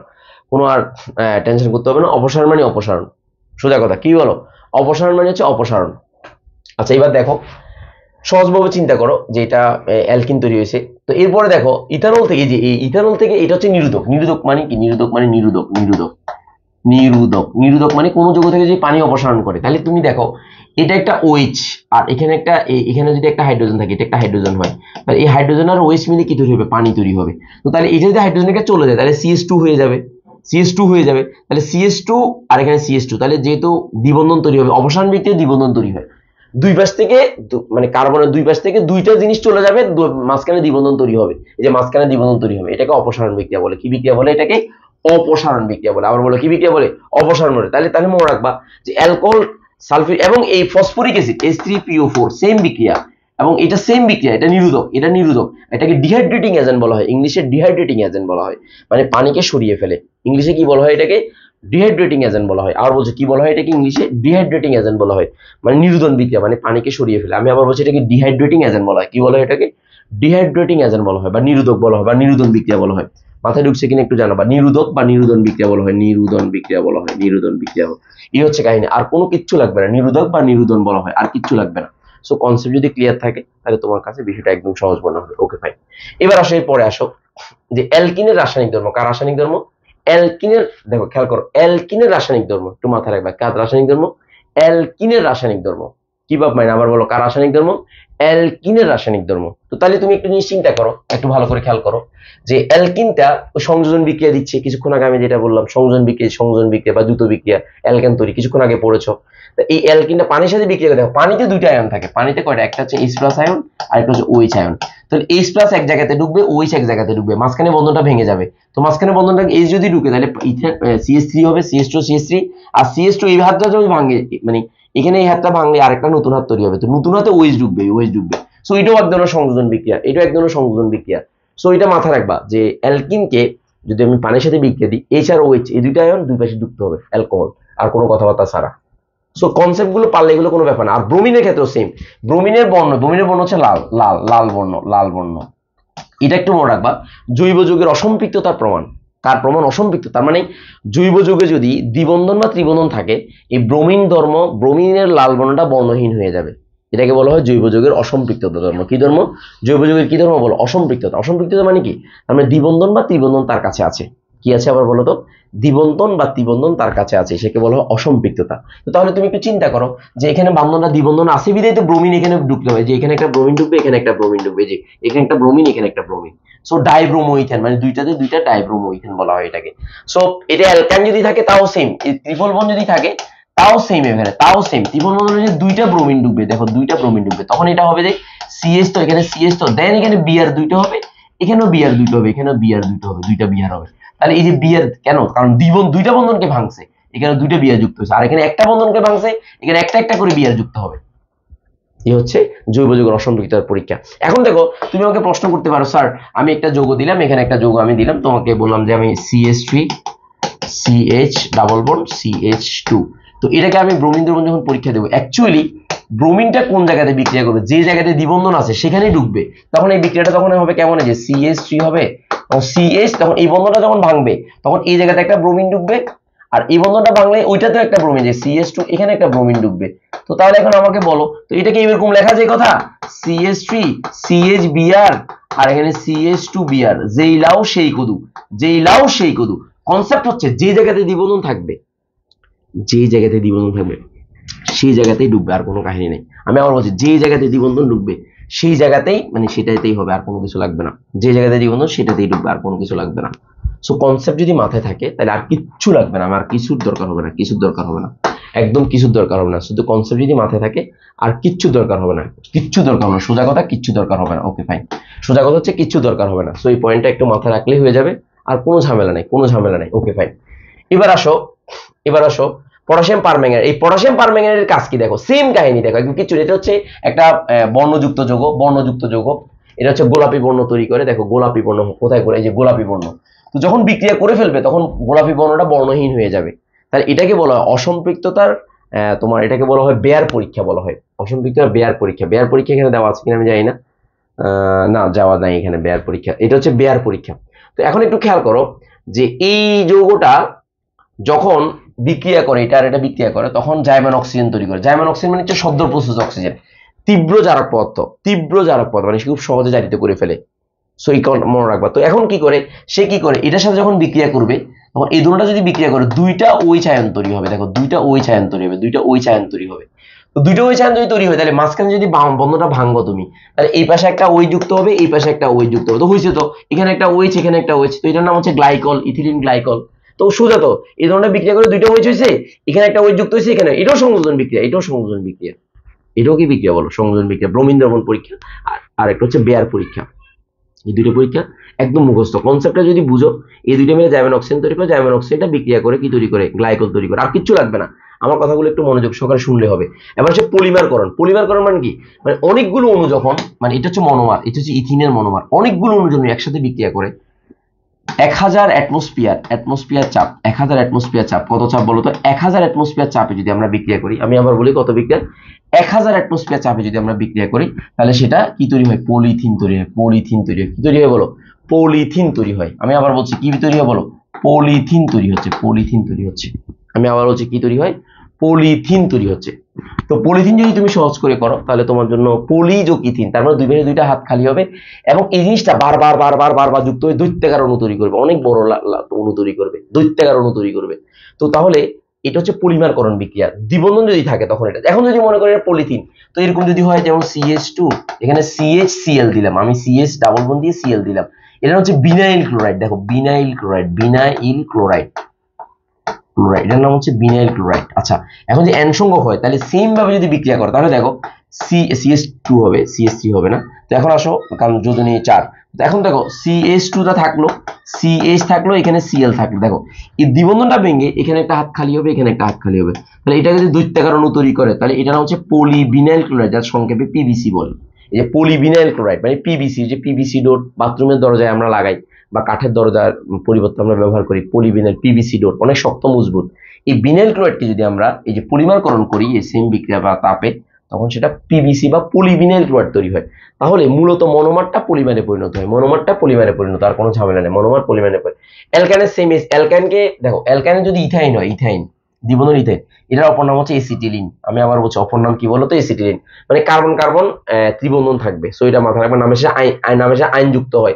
যত নাম্বার কার্বন আছে, তত নাম্বার আইন যুক্ত যেমন এখানে দেখো এই একটা, দুইটা, তিনটা, চারটা, তাহলে এই দ্বিতীয় নাম্বার কার্বনের ত্রিবন্ধন আছে। তাহলে এটার নাম হচ্ছে বিউটাইন টু। কিটাইন টু বলো? Butyne two. যত নাম্বারে মানে সিরিয়াল বাই যে দিক থেকে নাম্বারিং এমন ভাবে করব যে দিক থেকে দ্বিবন্ধন বা ত্রিবন্ধন সবচেয়ে কাছে হয়, সেদিক থেকে নাম্বারিংটা করতে হবে। দ্বিবন্ধন, তাহলে এই দিক থেকে দ্বিবন্ধন কাছে, একটা দ্বিবন্ধন কাছে, তাহলে নাম্বার দুই দুই নাম্বার কার্বনে ত্রিবন্ধন আছে, দুই নাম্বার কার্বনে ত্রিবন্ধন আছে, এই কারণে এটার নাম হচ্ছে বিউটাইন টু অসুবিধা অ্যাকচুয়ালি এটা এরকম বিউট টু আইন হয় মানে অ্যাকচুয়ালি এটা ইন্টারমিডিয়েট যখন পড়বা, তখন এই জিনিসগুলো জানবা বিউট টু আইন আমি আবার বলছি বিউট টু আইন দেখো বিউট টু আইন দেখো বিউট টু আইন আমি আবার বলছি এটাকে বিউট টু আইন বলে, কি বলে বলতো? বিউট টু আইন আমি আবার বলছি, এটা কি বলে? বিউট টু আইনও বলা যায়। আমি আবার বলছি, এটা কি বলে? বিউট টু আইন। শেষ না আর কোনো ঝামেলা নেই। বিউট টু আইন। আবার বলো, কি বলে? বিউট টু আইন। শেষ আর কোনো ঝামেলা নেই। ওকে ফাইন এবার একটু দেখো, খেয়াল করো, সবাই একটু ভালো করে, যদি তুমি কনসেপ্টটা ক্লিয়ার থাকো, তাহলে আর কোনো ঝামেলা নেই। আমি আবার বলছি, যদি কনসেপ্টটা ক্লিয়ার থাকে, তাহলে আর কোনো ঝামেলা নেই। কোনো ঝামেলা নেই। সোজা কথা। কনসেপ্ট যদি ক্লিয়ার থাকে, আর কোনো ঝামেলা থাকবে না। সোজা ব্যাপার। এবার দেখো, একটু খেয়াল করো যে এরপর দেখো এটা গেল এই পয়েন্টটা গেল। এবার দেখো, এটা খুবই ইম্পর্টেন্ট একটা বিক্রিয়া। ক্যালসিয়াম কার্বাইড অ্যাকচুয়ালি বিক্রিয়াটা কীভাবে হয় সেটা একটু খেয়াল করো। দেখো, আমি তোমাকে সহজভাবে বলব যে ক্যালসিয়াম তো, এই যে কার্বাইড তো হচ্ছে কার্বন কার্বন ত্রিফল বোন কার্বন এখানে একটা ক্যালসিয়াম এখানে একটা এইভাবে। এটার সাথে যদি হাইড্রোক্সাইড বিক্রিয়া, যে এই যে, এই এস টু ও বিক্রিয়া হয়, তার মানে হচ্ছে S two S two O যদি বিক্রিয়া করে, তাহলে এটা মূলত হচ্ছে এস প্লাস আর ওইচ আয়ন তাহলে দুইটা মূলত যদি বিক্রিয়া করে, তাহলে ওইচ কয়টা তৈরি হবে? দুইটা তৈরি হবে। দুইটা তৈরি যদি হয়, তাহলে ক্যালসিয়ামটা ক্যালসিয়াম হাইড্রোক্সাইড হবে যে ক্যালসিয়াম হাইড্রোক্সাইড। তাহলে বাকি কয়টা আছে? দুইটা হাইড্রোজেন। দুইটা হাইড্রোজেন এখানে দুইটা ভাঙার পরে, তাহলে এই যে প্লাস কার্বন ত্রিফল বন কার্বন ওই জায়গাতে একটা হাইড্রোজেন ঢুকবে এই জায়গাতে একটা হাইড্রোজেন ঢুকবে তাহলে ইথাইন তৈরি হলো। তাহলে স্ট্রাকচারটা হচ্ছে এটা কার্বন কার্বন ত্রিফল বন থাকবে ক্যালসিয়ামের যোজন হচ্ছে দুই। তো এটা ভাঙে গেলে ওই জায়গাতেই ভেঙে গিয়ে ক্যালসিয়ামের পরিবর্তে হাইড্রোজেন যুক্ত হবে। তাহলে ইথাইন তৈরি হয়, ইথাইন ইথাইন তৈরি হয়। মনে রাখবা এটা ইথাইন তৈরি হয়। কি তৈরি হয়? ইথাইন তৈরি হয়। আর বলো কি তৈরি হয়? ইথাইন তৈরি হয়, ইথাইন তৈরি হয়, ইথাইন তৈরি হয়। এদিকে দেখো, ইথাইন তৈরি হয়, ইথাইন তৈরি হয়, ইথাইন তৈরি হয়, ইথাইন তৈরি হয়। তাহলে তুমি খুব সহজে তোমার সহজভাবে তুমি উপস্থাপন করতে পারবা। ওকে ফাইন এবার দেখো অ্যালকাইনের রাসায়নিক ধর্ম। তাহলে অ্যালকাইন রাসায়নিক ওই যে কিছুক্ষণ আগে বললাম যে সংযোজন বিক্রিয়া দিলে যে এই দুইটা হাত ভাঙিয়ে গিয়ে দুই জায়গায় দুইটা হাইড্রোজেন যুক্ত হয়ে ইথেন তৈরি হয়ে যাবে, আর কোনো ঝামেলা নাই। ব্রোমিনের সঙ্গে সেম কাহিনী, আর কিছুক্ষণ আগে যেটা দেখালাম, দুইটা যুক্ত হবে। তারপর দেখো সেম সেম বিক্রিয়া, যে এটা যুক্ত হলে সেম এটা হচ্ছে এটা এটা একটু বিক্রিয়া, ব্যতিক্রম তুমি মনে রাখবা। এটা এটা খুবই ইম্পর্টেন্ট একটা বিক্রিয়া। এটা বিশ পার্সেন্ট মার্কুরিক সালফেট এই যে বিশ পার্সেন্ট এই যে বিশ percent sulphuric acid S two S O four আবার দুই পার্সেন্ট মার্কিউরিক সালফেট দেখো এসজিএসও ফোর এটা পরীক্ষা এইভাবে দেওয়া থাকবে? আশি ডিগ্রি সেলসিয়াস তাপমাত্রায় ইথানেল তৈরি হয়, কি তৈরি হয় বলো? ইথানেল তৈরি হয়, খুবই ইম্পর্টেন্ট একটা বিক্রিয়া এটা, ইথানেল তৈরি হয়। এটা বেশি বেশি পরীক্ষা আসে মানে ইথাইন থেকে ইথানল তৈরি হওয়ার প্রস্তুতি হচ্ছে এটা, ইথাইন থেকে ইথানল হয়, এইভাবে তৈরি হয়, আর কোনো ঝামেলা নাই ওকে অ্যালকোহল হচ্ছে, আমি কিছুক্ষণ আগে বললাম এই যেখানে থাকিবে জল, এই যে, এখন ঠিক আছে, এটা অ্যাকোয়াস অ্যাকোয়াস আগে দিয়ে জলীয় দ্রবণ ছিল, কিন্তু আগে দিয়ে জলীয়, কিছুক্ষণ আগে দিয়ে আমরা পড়েছিলাম, জলীয় দ্রবণ, না, আমি বলেছিলাম ভুল এটা ঠিক আছে, কারণ এটা অ্যাকোয়াস হলে অ্যালকোহল হবে। আর যদি এটা অ্যালকোহলিক হয়, এটা যদি অ্যালকোহলিক হয়, এটা অ্যাকোয়াস অ্যাকোয়াস হলে যেখানে থাকিবে জল, সেখানে হবে অ্যালকোহল যেখানে থাকিবে জল, সেখানে হবে অ্যালকোহল কারণ এটা যখন ভেঙে যাবে তখন ব্রোমিনকে তখন আলাদা হয়ে সোডিয়াম ব্রোমাইড তৈরি হবে। এই যে ব্রোমিনটা ভেঙে গিয়ে ওয়েস যুক্ত হবে এখানে। কিন্তু যদি সেটা অ্যালকোহলিক হয়, তাহলে দ্বিবন্ধন তৈরি হবে অ্যালকিন তৈরি হবে। সো এই পয়েন্টটা মাথায় রাখবা। যেখানে থাকিবে জল, সেখানে হবে অ্যালকোহল যেখানে থাকিবে জল, সেখানে হবে অ্যালকোহল যদি সোডিয়াম হাইড্রোক্সাইড অ্যালকোহলিক হয় তাহলে উৎপন্ন হবে অ্যালকিন। আর যদি অ্যাকোয়াস হয়, তাহলে হবে ইথানল বা অ্যালকোহল উৎপন্ন হবে। জাস্ট ওই জায়গাতে ওয়েস ব্রোমিনের পরিবর্তে ওয়েস যুক্ত হবে দ্যাটস ইট এই এই পয়েন্টটা মাথায় রাখবে, আর কোনো দরকার আর অ্যালডিহাইড এর প্রস্তুতি এইমাত্র দেখছ এইমাত্র অ্যালডিহাইড এর প্রস্তুতি দেখছ। সেম ভাবে আবার অনেকভাবে অ্যালডিহাইড তৈরি করা যায় ফরমালিন ফর্মালডিহাইড মানে হচ্ছে মিথানল যে মিথানল মানে এইচ সি এইচ ও এটার গাঠনিক সংখ্যা হচ্ছে এইচ তো সি দিবা, তো ডাবল বন দিবা, এখানে এইচ দিবা। তাহলে এই দেখ কার্বনের যোজনী চার মিলছে। এটার নাম হচ্ছে মিথানল কিনাল এটার নাম হচ্ছে মিথানল এটার নাম হচ্ছে মিথানল আমি আবার বলছি, এটার নাম হচ্ছে কি বলতো? মিথানল আমি আবার বলছি, এটার নাম হচ্ছে মিথানল। এটার নাম হচ্ছে মিথানল। এটার নাম হচ্ছে মিথানল। সো মিথানলের এই যে দেখো ফর্মালডিহাইড এটা মিথানল। তাহলে মিথানলের চল্লিশ পার্সেন্ট জলীয় দ্রবণকে কি বলে বল ফরমালিন বলে? আমি আবার বলছি, মিথানলের চল্লিশ পার্সেন্ট জলীয় দ্রবণকে কি বলে? ফরমালিন বলে। আমি আবার বলছি, মিথানলের চল্লিশ পার্সেন্ট জলীয় দ্রবণকে ফরমালিন বলে। আমি আবার বলছি, এটা মনে রাখব, চল্লিশ পার্সেন্ট জলীয় দ্রবণকে ফর্মালিন বলে। না হলে এটা ফরমালিনটা কিন্তু খুবই খারাপ। এটা মানুষের কিডনির ক্ষতি করে। আর ফ্যাটি অ্যাসিড মনে রাখবা ফ্যাটি অ্যাসিড মানে সিডাব্লিউএইচ মূলক থাকবে। অ্যালডিহাইড কে জারিত করলে, এই যে অ্যালডিহাইড কে জারিত করলে, যে অ্যালডিহাইড কে জারিত করলে পটাশিয়াম ডাইক্রোমেট এবং সালফিউরিক অ্যাসিডের উপস্থিতি যদি বিক্রিয়া করো পটাশিয়াম ডাইক্রোমেট এবং সালফিউরিক অ্যাসিডের উপস্থিতি যদি বিক্রিয়া করো, আমি আবার বলছি পটাশিয়াম ডাইক্রোমেট এবং সালফিউরিক অ্যাসিডের উপস্থিতি যদি বিক্রিয়া করো, তাহলে এটা ওইক অ্যাসিড তৈরি হবে। কি তৈরি হবে? ওইক অ্যাসিড তৈরি হবে। কি তৈরি হবে বলো? ওইক অ্যাসিড তৈরি হবে। যে ওইক অ্যাসিড তৈরি হবে। মনে রাখবা কি অ্যাসিড তৈরি হবে? ওইক অ্যাসিড সো এখানে একটা মজার জিনিস তোমাদেরকে একটু শিখাই দিই, তোমরা পারবা একটু মজার জিনিস শিখে মনে রাখবা যে অ্যালকোহলকে যদি জারিত করো অ্যালকোহলকে যদি জারিত করো সিএস এটাকে যদি তুমি জারিত করো, এই যে জারিত করো মানে জাইমান অক্সিজেন দাও, তাহলে সেক্ষেত্রে এটা অ্যালডিহাইড তৈরি হবে আর সিএইচও তৈরি হবে। আবার এটাকে যদি আবার তুমি জারিত করো, তাহলে সেটা কি হবে? আর সি ডাবল এইচ তৈরি হবে। এখন আর মানটা ইচ্ছা মতো। আর মানটা কার্বন একটাও দিতে মিথাইল মূলকও দিতে পারো ইথাইল মূলকও দিতে পারো প্রোপাইল মূলকও দিতে পারো, তোমার ইচ্ছা মতো। আবার যদি বিজারিত করো, উল্টাভাবে যদি তুমি করো, বিজারিত করো মানে বিজারিত করো মানে লিথিয়াম অ্যালুমিনিয়াম হাইড্রেট এর উল্টা দেবে দেখো, এই বিজারিত যদি করো তাহলে এখানে এস প্লাস এটাকে যদি বিজারিত করো, আমি আবার বলছি বিজারিত করো, তাহলে সেক্ষেত্রে এই যে লিথিয়াম অ্যালুমিনিয়াম হাইড্রেট এই যে হাইড্রেট এটা যদি দাও, বিজারিত হবে। উল্টা, এটা মানে এটা বিজারিত করলে এটা ধরো, এটাকে যদি বিজারিত করো, তাও যে জাইমান হাইড্রোজেন যদি বিজারিত করো বিজারিত করো জাইমান হাইড্রোজেন দিয়ে যদি বিজারিত করো, আমি আবার বলছি জাইমান হাইড্রোজেন বিজারিত করো, তাহলে অ্যালকোহল তো, তার মানে জারিত করলে এটা আর বিজারিত করলে হবে উল্টা। জারিত করলে যেটা হবে, বিজারিত করলে তার উল্টো হবে। এই বিক্রিয়াটা একটু মাথায় রাখবা মাথায় রাখবা মাথায় রাখবা। রাখবা। সো একদমই টেনশন নেই, একদমই টেনশন নেই। আমি আবার বলছি, একদমই টেনশন নেই। তোমার টেনশনই করতে হবে না। ওকে ফাইন এবার আসো। ফ্যাটি অ্যাসিডের রাসায়নিক ধর্ম, এই যে ফ্যাটি অ্যাসিড সোডিয়াম হাইড্রো ক্ষার অ্যাসিড ক্ষারের সাথে বিক্রিয়া করে লবণ ও পানি তৈরি করবে। এটার নাম সোডিয়াম ইথানয়েড এটা আরেকটা নাম আছে। এটার নাম হচ্ছে সোডিয়াম অ্যাসিটেটও বলা হয়। সোডিয়াম অ্যাসিটেটও বলা হয়। সোডিয়াম এসিটেটও বলা হয়। এসিটেট বলা হয়। আমি আবার বলছি সোডিয়াম এসিটেট বলা হয়। আমি আবার বলছি সোডিয়াম এসিটেট বলা হয়। আমি আবার বলছি, এটা কি বলে বলো তো সোডিয়াম এসিটেট বলে। আমি আবার বলছি, কি বলতো? সোডিয়াম এসিটেট বলা হয়। আমি আবার বলছি, কি বলা হয়? সোডিয়াম এসিটেট বলা হয়। আর কোনো ঝামেলা নেই। সোডিয়াম এসিটেট বলা হয়। আমি আবার বলছি, কি বলা হয়? সোডিয়াম এসিটেট বলা হয়। আর কিচ্ছু লাগবে না। সো কনসেপ্টটা ক্লিয়ার হয়ে যাবে। আর কোনো ঝামেলা নেই। সো এবার আসো আমরা ভিনেগার। একটু ভালো করে খেয়াল করো, ভিনেগার। ভিনেগার হচ্ছে যে ইথানিক অ্যাসিডের চার থেকে দশ পার্সেন্ট দেখো ইথানিক অ্যাসিডের চার থেকে দশ পার্সেন্ট জলীয় দ্রবণকে ভিনেগার বলা হয়। এটা জানো। সো এটা তো সিরকাও বলে এটাকে বাংলাদেশ সিরকা বলে। এবার দেখো, এই উল্টা জিনিসগুলো একটু মাথায় রাখলে হয়ে যায়, আর কিচ্ছু লাগবে না। মানে এই ব্যাপার, নিরোধকের ব্যাপারটা হলো অ্যালকোহল অ্যালডিহাইড অ্যাসিডের ব্যবহার কসমেটিক শিল্পে অনেক জায়গাতে ব্যবহার করা হয়। সেগুলো আপনি রিডিং পড়লে হবে। পলিমারে যে কিছুক্ষণ আগে আমি দেখালাম, পলিমারের মধ্যে একটা খুবই ইম্পর্টেন্ট জিনিস আছে। দেখো, এটা পলিথিন হলো, আর এটা হচ্ছে প্রোপিন দেখো প্রোপিনের ক্ষেত্রে সেম ঘটনা। পলিপ্রোপিন হবে। দেখো, এটা দ্বিবন্ধনটা ভেঙে গিয়ে দুই পাশে দুইটা হাত খালি হবে। দেখো, দ্বিবন্ধনটা ভেঙে, এটা স্ট্রাকচার হচ্ছে এরকম। সিএস টু হবে দেন সিএইচ দেখো, একটু ভালো করে খেয়াল করো। সিএইচ এখানে একটা হাত খালি হবে, এখানে সিএস থ্রি হবে। তাহলে এই পাশে একটা হাত খালি, এই পাশে, এটার নাম হচ্ছে পলিপ্রোপিন সিএস থ্রিটাকে উপরে তুলে দিলে বিষয়টা বুঝতে সহজ। তার মানে দ্বিবন্ধনটাই মূলত ভাঙছে। কি ভাঙছে বলো তো? দ্বিবন্ধনটাই মূলত ভেঙে দুই পাশে দুইটা হাত খালি হয়েছে। এই যে দুই পাশে দুইটা হাত খালি হয়ে পলিথিন মানে তার মানে অনেকগুলো বিক্রিয়া, অনেকগুলো মনোমার পাশাপাশি যুক্ত হয়ে দৈত্যাকার অণু তৈরি করে, দৈত্যাকার অণু তৈরি করে। এখানে একটা পলিমার তাপমাত্রাগুলো মনে রাখবা এবং তোমার চাপটা মনে রাখবা, একশো চল্লিশ অ্যাটমসফিয়ার চাপে। তারপরে দেখো বিনাইল ক্লোরাইড, এটা আমি দেখালাম যে পলিবিনাইল ক্লোরাইড, কিছুক্ষণ আগে দেখালাম যে বিনাইল ক্লোরাইড থেকে পিভিসি বা পলিবিনাইল ক্লোরাইড তৈরি হয়। সো এবার হচ্ছে ঘনীভূত পলিমার, এটা খুবই ইম্পর্টেন্ট এটা আমি একটু সহজ করে দিই তোমাকে যে এটা, এটাকে বলে এডিপিক অ্যাসিড বলা হয়, এডিপিক অ্যাসিড বলে, যে এডিপিক অ্যাসিড বলে। এটা কয় কার্বন, একটু খেয়াল করো, এক কার্বন, আর এখানে দুই কার্বন, আর এখানে চার কার্বন, তাহলে ছয় কার্বন, আর এখানেও কিন্তু ছয় কার্বন, এডিপিক অ্যাসিড এটা এডিপিক, এটা এডি এটা ভুল হয়েছে। এ- এইটা হবে এই পাশে, এটা এডিপিক অ্যাসিড আর হেক্সামিথিলিন ডায়ামিন হচ্ছে এটা এটা উল্টো হবে, এটা বইতে ভুল আছে। এটা এই পাশে হবে, এটা ওই পাশে হবে, বইতে ভুল আছে, বইগুলো একটু দেখবা। এটাকে নৈলন নাইলন সিক্স সিক্স বলা এখন কেন নাইলন সিক্স সিক্স বলে সেটাও তোমাকে আমি দেখাচ্ছি। টাইটেনিয়ামের উপস্থিতিতে নাইলন সিক্স সিক্স কেন বলে এটা আমি তোমাকে দেখাচ্ছি। দেখ দ্যাটস ইট একটু আমার কলমের দিকে তাকাবা। একদম জীবনও ভুলবা না। তুমি একটু খেয়াল করো স্ট্রাকচারগুলো খেয়াল করবা।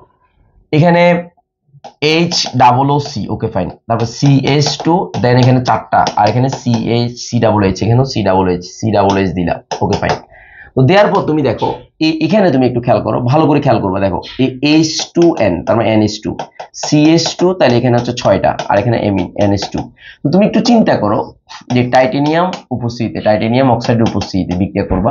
তো বিক্রিয়া করলে তুমি একটু খেয়াল করো হেক্সামিথিলিন দেখো হেক্সামিথিলিন ডায়ামিন এটা নাম হচ্ছে হেক্সা মানে ছয়টা মিথিলিন মূলক আছে, আর দুই পাশে দুটো এমিন মূলক আছে। এন এনএস টু মানে হচ্ছে এমিন মূলক। এন এনএস টু মানে হচ্ছে কি মূলক? এমিন মূলক।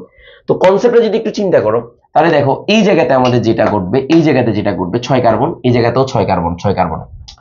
মূলত যে বিক্রিয়াটা ঘটবে, দেখো, আমি একদম কিচ্ছু করব না, দেখো, এখানে সি তো ডাবল বন্ড ও এটা লিখে ফেলব, এখানে একটা হাত খালি রাখব, এখানে লিখব। দেন সি দিয়ে এখানে সি এস টু দিয়ে এখানে ছয়টা লিখে ফেলব। তাহলে সি দিয়ে এখানে ডাবল বন্ড ও দিব। এখন দেখো এটার মানে মেইন যে ফ্যাক্টরটা মানে আমাদের যেটা মেইন যেটা জায়গা, সেটা যদি ভালো করে বুঝে যাও, আর কিচ্ছু লাগবে না, কিচ্ছু লাগবে না, দেখো, আর কিচ্ছু লাগবে না, দেখো। এই জায়গাতে এই জায়গাতে আমি যদি একটু চালাকি করি, এটাকে আমি এরকম করে দিই, দেখো এইচ একটা আর এখানে একটা এইচ আর এই জায়গাতে ওয়েসটা আমি দেখতে এখন তুমি খেয়াল করো, এটাকে আমি যদি এরকম করে দিই, দেখো, এটাকে ডাবল বোন ও, আর এখানে হচ্ছে এরকম করে দিই। তুমি একটু দেখো, ঠিক সেম ভাবে এখানে যদি আমি ডাবল বোন ও দিই ডাবল বোন ও দিই, আর এখানে ওএইচ এইচ ও দিই, তুমি একটু খেয়াল করো, যে কিচ্ছু লাগবে না, শুধু বেসিকটা বোঝা দরকার, আর কিচ্ছু লাগবে না, যেটা আমি যেটা দেখাচ্ছি, দেখো। এটা এবং এটা যদি বিক্রিয়া করে, তাহলে কি হয়? পানি হয়ে যায়। তাহলে যে পানি হয়ে যায়, পানি হয়ে যায়। তাহলে দেখো, এই এটার সাথে এটা, এই বন্ধনটা, তাহলে এটার সাথে এই বন্ধনটা আমি এখানে লিখলাম। লেখার পরে আমার এখানে একটা হাত খালি। তাহলে এই হাতের জায়গায় এই এন আর এইচ যুক্ত হয়েছে। যে এন এইচ এন ই যুক্ত হচ্ছে। আর বাকিটা খাবের খাপ মমতাজার বাবা আমার বসে যাচ্ছে। এই যে বরাবর ছয়টা। আর এখানেও এন এইচ যে এন এইচ যে এন এইচ যে এন এইচ এখানে একটা হাত খালি। তো তাহলে এই যে মাঝখানে যে যুক্ত হইল, এই যে যুক্ত হচ্ছে, সংযোজিত হচ্ছে যে সংযোজিত হচ্ছে, এই মাঝখানে যে সংযোজিত হচ্ছে এটাই হচ্ছে মূলত না, দেখো, এই পাশে একটা ছয়টা কার্বন, এই পাশেও ছয়টা কার্বন। দেখো, এই পাশে ছয়টা কার্বন ছয়টা কার্বন। এই যে মাঝখানে যে বন্ধনটা, এই বন্ধনের নাম হচ্ছে পেপটাইড বন্ধন পেপটাইড বন্ধন। পেপটাইড বন্ধন বলা হয় এটাকে। তাহলে সিও এনএস টু যে সি ডাবল সি এটাকে সিও এনএস টু যে সিও তোমার বইতে সিও এনএইচ আছে, যে সিও এনএইচ আছে। দেখো, এই সিও এনএসটা তৈরি হচ্ছে মূলত, এই যে এইখানে পানিটা অপসারিত হয়ে। আর বাকি কিচ্ছু লাগবে না। তাহলে তোমার মাথায় রাখবে যে এটা ছয় কার্বন, এটা ছয় কার্বন। বাট দুটো এমিন থাকবে। তো এখানেও আবার সেম এভাবে দুইটা কারণ অণু তৈরি করবে। মানে অনেক বড় অণু তৈরি করবে, বারবার বারবার যুক্ত হবে। এটার নামই হচ্ছে নাইলন সিক্স সিক্স দেখো নাইলন নাইলন সিক্স সিক্স তাহলে দেখো, মূলত এখানে মনে রাখতে হচ্ছে কি? দুটো যৌগের নাম মনে রাখতে হচ্ছে। এবং ছয় কার্বনওয়ালা ছয় কার্বনওয়ালা আর এখানে পানির অপসারিত হলে তখন এই জায়গাতে একটা বন্ধন তৈরি হচ্ছে। এই বন্ধনের নামই হচ্ছে প্যাপটাইড বন্ধন। এবং এটাই হচ্ছে নাইলন সিক্স সিক্স এবং এটাই হচ্ছে নাইলন সিক্স সিক্স তাহলে ভাষা যদি কয়েকবার প্র্যাকটিস করো তাহলে এটা তোমাকে আর আটকাতে পারবে না। তো এই বন্ধনটা তৈরি হয় এটা নাইলন সিক্স সিক্স দৈত্যাকরণ তৈরি হয়। প্লাস্টিক, যেটাকে প্লাস্টিক বলি আমরা, খুব শক্ত। এটাকে আমরা ছোটবেলায় ঘুড়ি উড়াতাম আমরা, এই নাইলনের রশি দিয়ে। ঘুড়ি উড়াতাম আমরা, ছোটবেলায় আমি উড়াইছি। তো সো এই ব্যাপারগুলো একটু মাথায় রাখলে আমার মনে হয় অত বেশি ঝামেলা নাই। সো আশা করি সহজে পারবা। এখন আমরা সোজা সিকিউ এবং এমসিকিউতে ক খতে চলে যাব। সিকিউতে চলে যাব। দেখো, সিকিউতে আমরা চলে যাওয়ার আগে আমরা কখগুলো একটু চেক করে নিই। কখগুলো তোমাদের করার দরকার আছে। ভালো করে একটু খেয়াল করলে না এগুলো অনেক মজার, শুধু মজা না, অনেক মজা। তুমি দেখো এখন, এদিকে দেখো।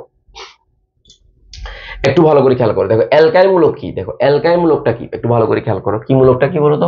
অ্যালকাইল মূলকটা কি? তোমাকে এখানে বলছে যে অ্যালকাইল মূলকটা কি? একটু ভালো করে খেয়াল করো। কি মূলক বলো তো? অ্যালকাইল মূলকটা কি? আমি আবারও বলছি, কি মূলকটা কি বলো তো? অ্যালকাইল মূলকটা কি? ভালো করে খেয়াল করো, কি মূলক, কি বলো তো অ্যালকাইল মূলকটা কি? তোমাকে বলে হয়েছে। তো তাহলে অ্যালকাইল মানে অ্যালকেন থেকে একটা হাইড্রোজেন কম থাকলে সেটাই অ্যালকাইল মূলক। ফরমালিন কি? এই যে মিথানলের চল্লিশ পার্সেন্ট জলীয় দ্রবণকে ফরমালিন বলে। অপরিশোধিত তেল কাকে বলে? যে পেট্রোলিয়াম খনি থেকে সরাসরি পাওয়া যায়, তাকে অপরিশোধিত তেল বলা হয়। অ্যারোমেটিক হাইড্রোকার্বন কি? অ্যারোমেটিক হাইড্রোকার্বন হলো পাঁচ, ছয় কিংবা সাত সদস্যের সমতলীয় সুগন্ধযুক্ত যৌগ যাতে এক প্রকার দ্বিবন্ধন থাকে। এই যে তোমাদের জটিল ব্যাপারটা বলা নাই। এটা সুসমতলীয় সুষম চাকরির যৌগ, যেটার মধ্যে সঞ্চারণশীল পাই ইলেকট্রন থাকে। সো এটা বললেও হয়। সমতলীয় সুষম চাকরিক যৌগ, যেটার মধ্যে সঞ্চারণশীল ইলেকট্রন পাই ইলেকট্রন থাকে। দ্যাটস ইট এটা বললেও অ্যারোমেটিক যৌগ হয়ে যায়। যাই হোক, তোমাদের বইতে যেহেতু দিয়েছে, তোমরা যেভাবে দিই, সেভাবে দিবা। জীবাশ্ম কাকে বলা হয়? উদ্ভিদ, প্রাণী, মৃত্যুর পর হাজার হাজার বছর ধরে মাটিতে মিশে বিভিন্ন বিক্রিয়ার মাধ্যমে পরিবর্তিত হয়ে যেসব জ্বালানি সৃষ্টি হয়, তাকে জীবাশ্ম জ্বালানি বলে। অ্যালডিহাইড কাকে বলে? জৈব যৌগের অনুতে সিএচও মূলক বিদ্যমান তাকে অ্যালডিহাইড বলে। অ্যালকাইন কাকে বলে?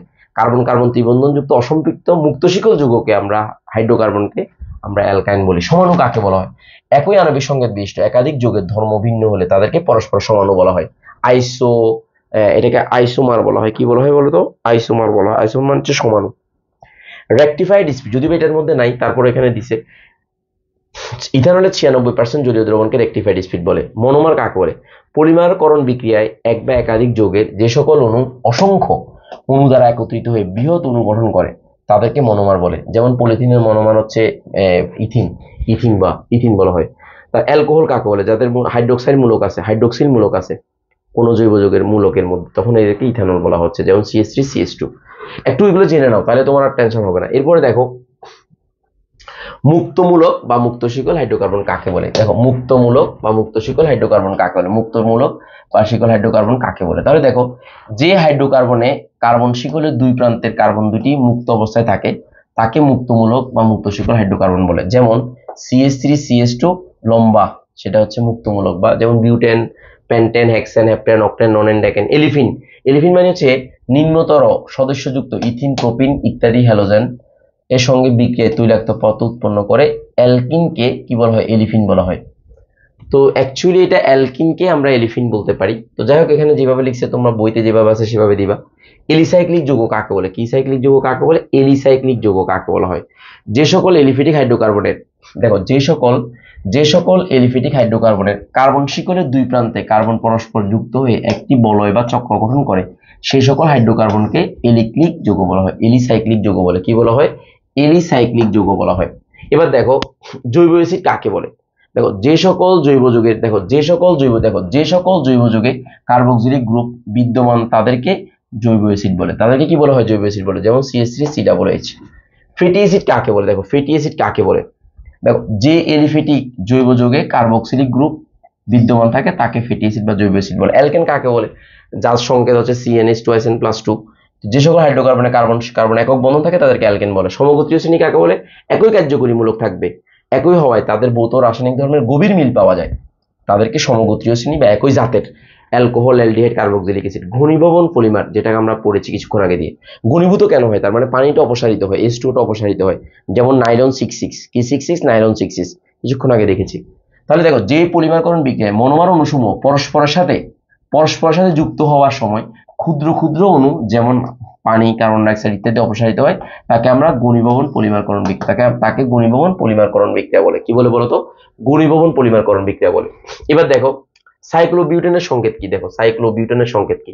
তাহলে সাইক্লোবিউটেনটা হচ্ছে দেখো, এই যে সাইক্লোবিউটেন আর অ্যালকিন যদি থাকে সাইক্লোবিউটিন এটা বা ইউটিন তাহলে দ্বিবন্ধন থাকবে। যেমন এটা হচ্ছে সাইক্লোবিউটিন মানে হচ্ছে কি?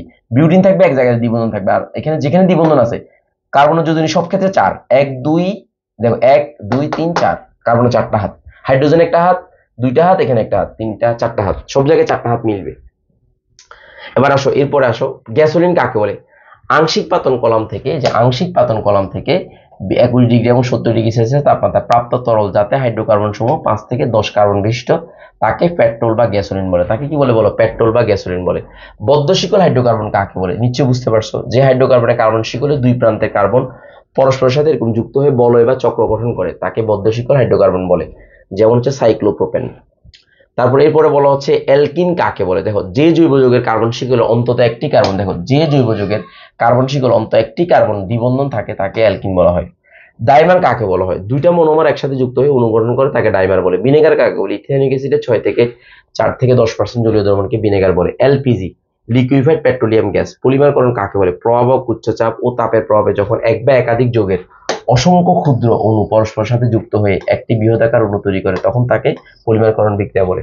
তারপরে দেখো অসম্পৃক্ত হাইড্রোকার্বন কাকে বলে? যে যেসব হাইড্রোকার্বনে কমপক্ষে একটি কার্বন কার্বন দ্বিবন্ধন কার্বন কার্বন ত্রিবন্ধন থাকে, তাকে অসম্পৃক্ত হাইড্রোকার্বন বলে, যেমন হচ্ছে ইথাইন এরপরে দেখো, এরপরে আমরা, দেখো, এরপরে আমরা দেখব যে আচ্ছা এরপর হচ্ছে আমরা দেখো, এদিকে থাকো। সম্পৃক্ত হাইড্রোকার্বন কার্বন কার্বন একক বন্ধন থাকলে সম্পৃক্ত। সমানুকরণ বিক্রিয়া কাকে বলে? যদি দুটি যৌগের আণবিক সংকেত একই থাকে, কিন্তু গাঠনিক সংকেত ভিন্ন হয়, তবে তা হলো পরস্পর সমাণু একটি সমাণু থেকে অপর একটি সমাণু তৈরির প্রক্রিয়াকে সমানুকরণ বিক্রিয়া বলে। তাহলে তুমি শুধু এটা লিখলে হবে, একটি সমাণু থেকে অপর একটি সমাণু তৈরি করার প্রক্রিয়াকে সমানুকরণ বিক্রিয়া বলে। একটি সমাণু থেকে অপর একটি সমাণু তৈরি করার বিক্রিয়াকে কি বলা হয় বলো? সমানুকরণ বিক্রিয়া বলে। কি বলে? সমানুকরণ বিক্রিয়া বলে। গ্যাস হল। তাহলে গ্যাসোলিনের সাথে দেখো, এই যে গ্যাসোলিনের সাথে দশ পার্সেন্ট ইথানলের মিশ্রণে বলা হয়, দেখো যা জ্বালানি রূপে ব্যবহৃত হয়। তারপরে দেখো পাইরোলাইসিস দেখো পাইরোলাইসিস পাইরোলাইসিস কাকে বলে দেখো? বায়ুর অনুপস্থিতিতে উচ্চ তাপমাত্রায় পেট্রোলিয়াম বিয়োজিত করাকে কি বলা হয়? পাইরোলাইসিস বলা হয়।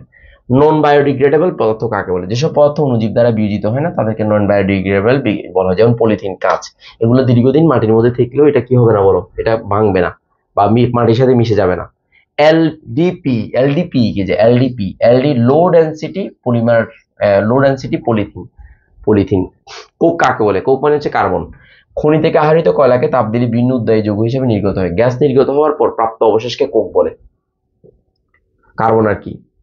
ডোরালিনের মনোমার কি? মিথানেল হচ্ছে ডোরালিনের মনোমার এটা আসতে পরীক্ষা ফেনল সংকেত কি? ফেনল হচ্ছে বেঞ্জিন বলে একটা ওয়েস্টমূলক যুক্ত থাকবে, তাকে ফেনল বলা হয়। টলেন বিকারক কি? ক্ষারীয় সিলভারেটেড দ্রবণকে টলেন বিকারক বলে। অ্যালকালি মূলকের সংকেত কি? মানে আর। CNS twice N plus one এটা হচ্ছে আর এর সঙ্গে একটা হাত খালি থাকবে। যে মাইনাস না, এটা একটা হাত খালি। একটা হাত খালি থাকবে। ওকে সো পেট্রোলিয়ামের এখানে বলা হচ্ছে, এরপরে দেখো পেট্রোলিয়ামের প্রধান উপাদানকে হাইড্রোকার্বন কাকে বলে পড়ছো? অ্যারোমেটিক যৌগ কাকে বলে পড়ছো? তারপর হচ্ছে প্রোপিন অসম্পৃক্ত দেখো প্রোপিনকে অসম্পৃক্ত যৌগ বলার কারণ কি? অসম্পৃক্ততার সংজ্ঞাতে আমরা কি পড়েছি? সহজভাবে চিন্তা করো। অসম্পৃক্ততার সংজ্ঞাতে আমরা পড়েছি, যদি কার্বন কার্বন দ্বিবন্ধন থাকে, তখন তাদেরকে আমরা অসম্পৃক্ত যৌগ বলি। কি বলি আমরা? অসম্পৃক্ত যৌগ বলি। তাহলে দেখো প্রোপিনের একটা দ্বিবন্ধন আছে, এই কারণে অসম্পৃক্ত যৌগ সোজা কথা হচ্ছে সেটা, আর কোনো কিছু লেখা চিন্তা করার দরকার নেই। দ্বিবন্ধন আছে সেখানে অসম্পৃক্ত, আর কিছু দরকার নেই। তার মানে এটা ব্রোমিন দ্রবণ পরীক্ষা দেবে, বেয়ার পরীক্ষা দেবে। বেয়ার পরীক্ষা কোনটা? পটাশিয়াম ডাইক্রোমেনের সাথে কার বিক্রিয়া বলো? পটাশিয়াম সোডিয়াম হাইড্রোক্সাইড বা পটাশিয়াম হাইড্রোক্সাইড বিক্রিয়া করে জাইমান অক্সিজেন তৈরি করে। পানির সাথে যদি বিক্রিয়া দাও দুইটা ওই যুক্ত হবে, দুইটা পাশে। দ্বিবন্ধন যেখানে আছে সেটা ভেঙে দুই পাশে দুইটা ওই যুক্ত হবে যেটা তোমাদেরকে দেখিয়েছিলাম। পলিপ্রোপিন এখানে বলছে পলিপ্রোপিনকে জুতো পলিমার বলা হয় কেন? পলিপ্রোপিন পলিমার অসংখ্য প্রোপিন অসংখ্য প্রোপিন অণু মনোমার হিসেবে সরাসরি যুক্ত হয়, তাই পলিপ্রোপিন হলো জুতো পলিমার আমরা জানি যে পলিমারকরণ বিক্রিয়ায় অসংখ্য মনোমার, দেখো, অসংখ্য মনোমার কোনো পরস্পর যুক্ত হয়ে দীর্ঘ শিকল বিশিষ্ট পলিমার গঠন করে, তাকে সংযোজন বা জুতো পলিমার বিক্রিয়া বলা হয়। আর এই বিক্রিয়ার উৎপন্ন পলিমারই জুত বিক্রিয়া জুত পলিমার প্রোটিনকে টাইটেনিয়াম ক্লোরাইডের উপস্থিতিতে উচ্চ চাপ এবং উচ্চ তাপমাত্রা উত্তপ্ত করলে পলিপ্রোপিন উৎপন্ন হয়। উচ্চ চাপ এবং উচ্চ উচ্চ চাপ এবং উচ্চ, এখানে কি বলছে? উচ্চ তাপমাত্রায় উত্তপ্ত করলে পলিপ্রোপিন উৎপন্ন হয়। কি উৎপন্ন হয় বলো? পলিপ্রোপিন উৎপন্ন হবে। কি হবে বলো? পলিপ্রোপিন উৎপন্ন হবে। ওকে এবার আসো আমরা ফরমালিন একটি অ্যালডিহাইড যৌগ ব্যাখ্যা করো। এখানে বলা হচ্ছে ফরমালিন একটা অ্যালডিহাইড যৌগ তোমাকে ব্যাখ্যা করতে বলছে। একটু ভালো করে খেয়াল করো। ফরমালিন একটা অ্যালডিহাইড যৌগ ইয়া, ব্যাখ্যা করতে বলছে। ফরমালিনের মধ্যে কি থাকে? মিথানল থাকে। তো মিথানলে কি মূলক থাকে? সিএচও মূলক থাকে। তো সিএচও মূলক থাকলে তো অ্যালডিহাইড হবে। সোজা কথা। ক্যারোসিনের দহন একটা রাসায়নিক পরিবর্তন। হ্যাঁ ক্যারোসিনকে যদি আমরা দহন করি, তাহলে কার্বন ডাইঅক্সাইড তুমি লিখবে, ক্যারোসিনকে যদি পোড়ানো হয় কার্বন ডাইঅক্সাইডও কি হয়? পানি তৈরি হয়। তো তাহলে কার্বন ডাইঅক্সাইড আর পানির সাথে ক্যারোসিনের ধর্মের কোনো মিল থাকবে না। সম্পূর্ণ নতুন যৌগ তৈরি হবে। সুতরাং কি বলব আমরা? ক্যারোসিনের দহন একটা রাসায়নিক বিক্রিয়া। তুমি চাইলে বিক্রিয়াটা লিখতে পারো। C X H Y X Y Y by four O two X মানে যত সংখ্যক এক্স থাকবে, ততটা carbon dioxide Y by two পানি তৈরি হবে। সো এই পয়েন্টটা যদি তুমি বুঝো, তাহলে তোমার কাছে আসলে কোনো ঝামেলা হবে না। যদি সহজ করে যদি চিন্তা করো, তাহলে এখানে যতটা কার্বন থাকবে, ঠিক ততটাই কি হবে বলো? ততটা অক্সিজেন, তার সাথে ওয়াই বাই ফোর যুক্ত হবে that's it Y by four যুক্ত হবে, আর কোনো ঝামেলা নেই। সো বিক্রিয়াটা প্রচুর পরিমাণে তাপ শক্তি উৎপন্ন হবে। এখন দেখো, এই ইয়ার সাথে মানে ক্যারোসিনের সাথে, তোমার কার কোনো ধর্মের মিল নেই, কার্বন ডাইঅক্সাইড এবং পানির ধর্মের কোনো মিল নেই। এই কারণে সেটা হচ্ছে একটা রাসায়নিক পরিবর্তন। এরপর দেখো, পলিথিনের সংযোজন বিক্রিয়া। পলিথিন সংযোজন পলিমার, দেখো, পলিথিনটা যখন মাঝখানে ভাঙে, তখন এখানে ভেঙে গিয়ে দৈত্যাকার অণু তৈরি করে মানে অনেক লম্বা শিকলযুক্ত অণু তৈরি করে। সুতরাং সেটা হচ্ছে একটা সংযোজন বিক্রিয়া। প্রোপিনকে এলিফিন বলার কারণ কি? কারণ এটা পিচ্ছিল জাতীয় পদার্থ। প্রোপিন হলো অ্যালকিনের সদস্য যা হ্যালোজেনের সাথে বিক্রিয়া করে তৈলাক্ত জাতীয় পদার্থ উৎপন্ন করে। তাই প্রোপিন সহ সকল অ্যালকিন সদস্যকে এলিফিন বলা হয়। প্যারাফিন কাকে বলে? প্যারাফিন মানে আসক্তিহীন, যে সকল যৌগসমূহ রাসায়নিকভাবে নিষ্ক্রিয়, সহজে বিক্রিয়া করে না, তারা প্যারাফিন নামে পরিচিত। সাধারণত জৈব যুগে অ্যালকেন শ্রেণির সদস্যগুলো রাসায়নিকভাবে নিষ্ক্রিয় থাকে। অ্যাকচুয়ালি নিষ্ক্রিয় বলতে সহজে বিক্রিয়া করে না, এটাই বোঝায়। তাদেরকে এই কারণে তাদেরকে প্যারাফিন বলে। ইথানল পরিবেশ বান্ধব জানা কারণ ইথানল বিক্রিয়া করলে কার্বন ডাইঅক্সাইড আর পানি তৈরি হয়। অনবায়নযোগ্য জানেন ইথানল দহন বিক্রিয়া তাপ উৎপন্ন করে। অবনয় অবন অনবায়নযোগ্য জ্বালানি, পেট্রোল, ডিজেল ইত্যাদি বিকল্প হিসেবে ইথানল ব্যবহার করে। তাপ, ইঞ্জিন, যানবাহন চালানোর জন্য অন্যতম উৎস, যেহেতু গাজন প্রক্রিয়া ইথানল উৎপন্ন হয়। তাই এটি পরিবেশ বান্ধব মানে এটা পরিবেশে কোনো ক্ষতি করে না। গাজন প্রক্রিয়ার মাধ্যমে ইথানল তৈরি করা যায়। আচ্ছা এবার দেখো, প্রোপানোয়িক অ্যাসিড, দুর্বল অ্যাসিড। কি অ্যাসিড বলো? প্রোপানোয়িক অ্যাসিড, দুর্বল অ্যাসিড। কেন দুর্বল অ্যাসিড? কারণ সি ডাবল এইচ মূলক রয়েছে। তাহলে জলীয় দ্রবণে যদি হান্ড্রেড পার্সেন্ট বিয়োজিত না হয়, কোনো একটা যৌগ জলীয় দ্রবণে যদি হান্ড্রেড পার্সেন্ট বিয়োজিত না হয়, তাহলে সেক্ষেত্রে তাকে আমরা দুর্বল অ্যাসিড বলে। তাহলে যে অ্যাসিড জলীয় দ্রবণে শতভাগ বিয়োজিত হয় না তাহলে শতভাগ বিয়োজিত হয় না, তাহলে আংশিক বিয়োজিত হয়। তাকেই আমরা কি বলতেছি? দুর্বল অ্যাসিড বলতেছি। এলপিজি লিকুইফাইড পেট্রোলিয়াম গ্যাস এটা এটা লিখে এলপিজি কি? এলপিজি পেট্রোলিয়ামে শতকরা দুই ভাগ পেট্রোলিয়াম গ্যাস থাকে। এই গ্যাসকে চাপ প্রয়োগ করে তরলে পরিণত করা যায়। রান্নার কাজে অন্যান্য কাজে এলপিজি ব্যবহার করা হয়। এর স্ফুটনাঙ্ক জিরো থেকে বিশ ডিগ্রি পর্যন্ত হয়। এই অংশে যে হাইড্রোকার্বন থাকে, এই অণুতে কার্বনের সংখ্যা এক থেকে চার পর্যন্ত থাকে। মানে মিথেন ইথেন প্রোপেন বিউটেন চারটা কার্বন থাকতে পারে। চারটা, সর্বোচ্চ চারটা কার্বনযুক্ত ইয়া থাকতে পারে। মানে যৌগটাগুলো থাকতে পারে। অ্যালকিনকে এলিফিন বলা হয় কেন? কারণ ওই যে কিছুক্ষণ আগে বলছে, এলিফিন গ্রিস শব্দ যার অর্থ অয়েল ফর্মিং জৈব যুগের কার্বন শিকল অন্তত একটি কার্বন কার্বন দ্বিবন্ধন থাকে, তাকে অ্যালকিন বলে।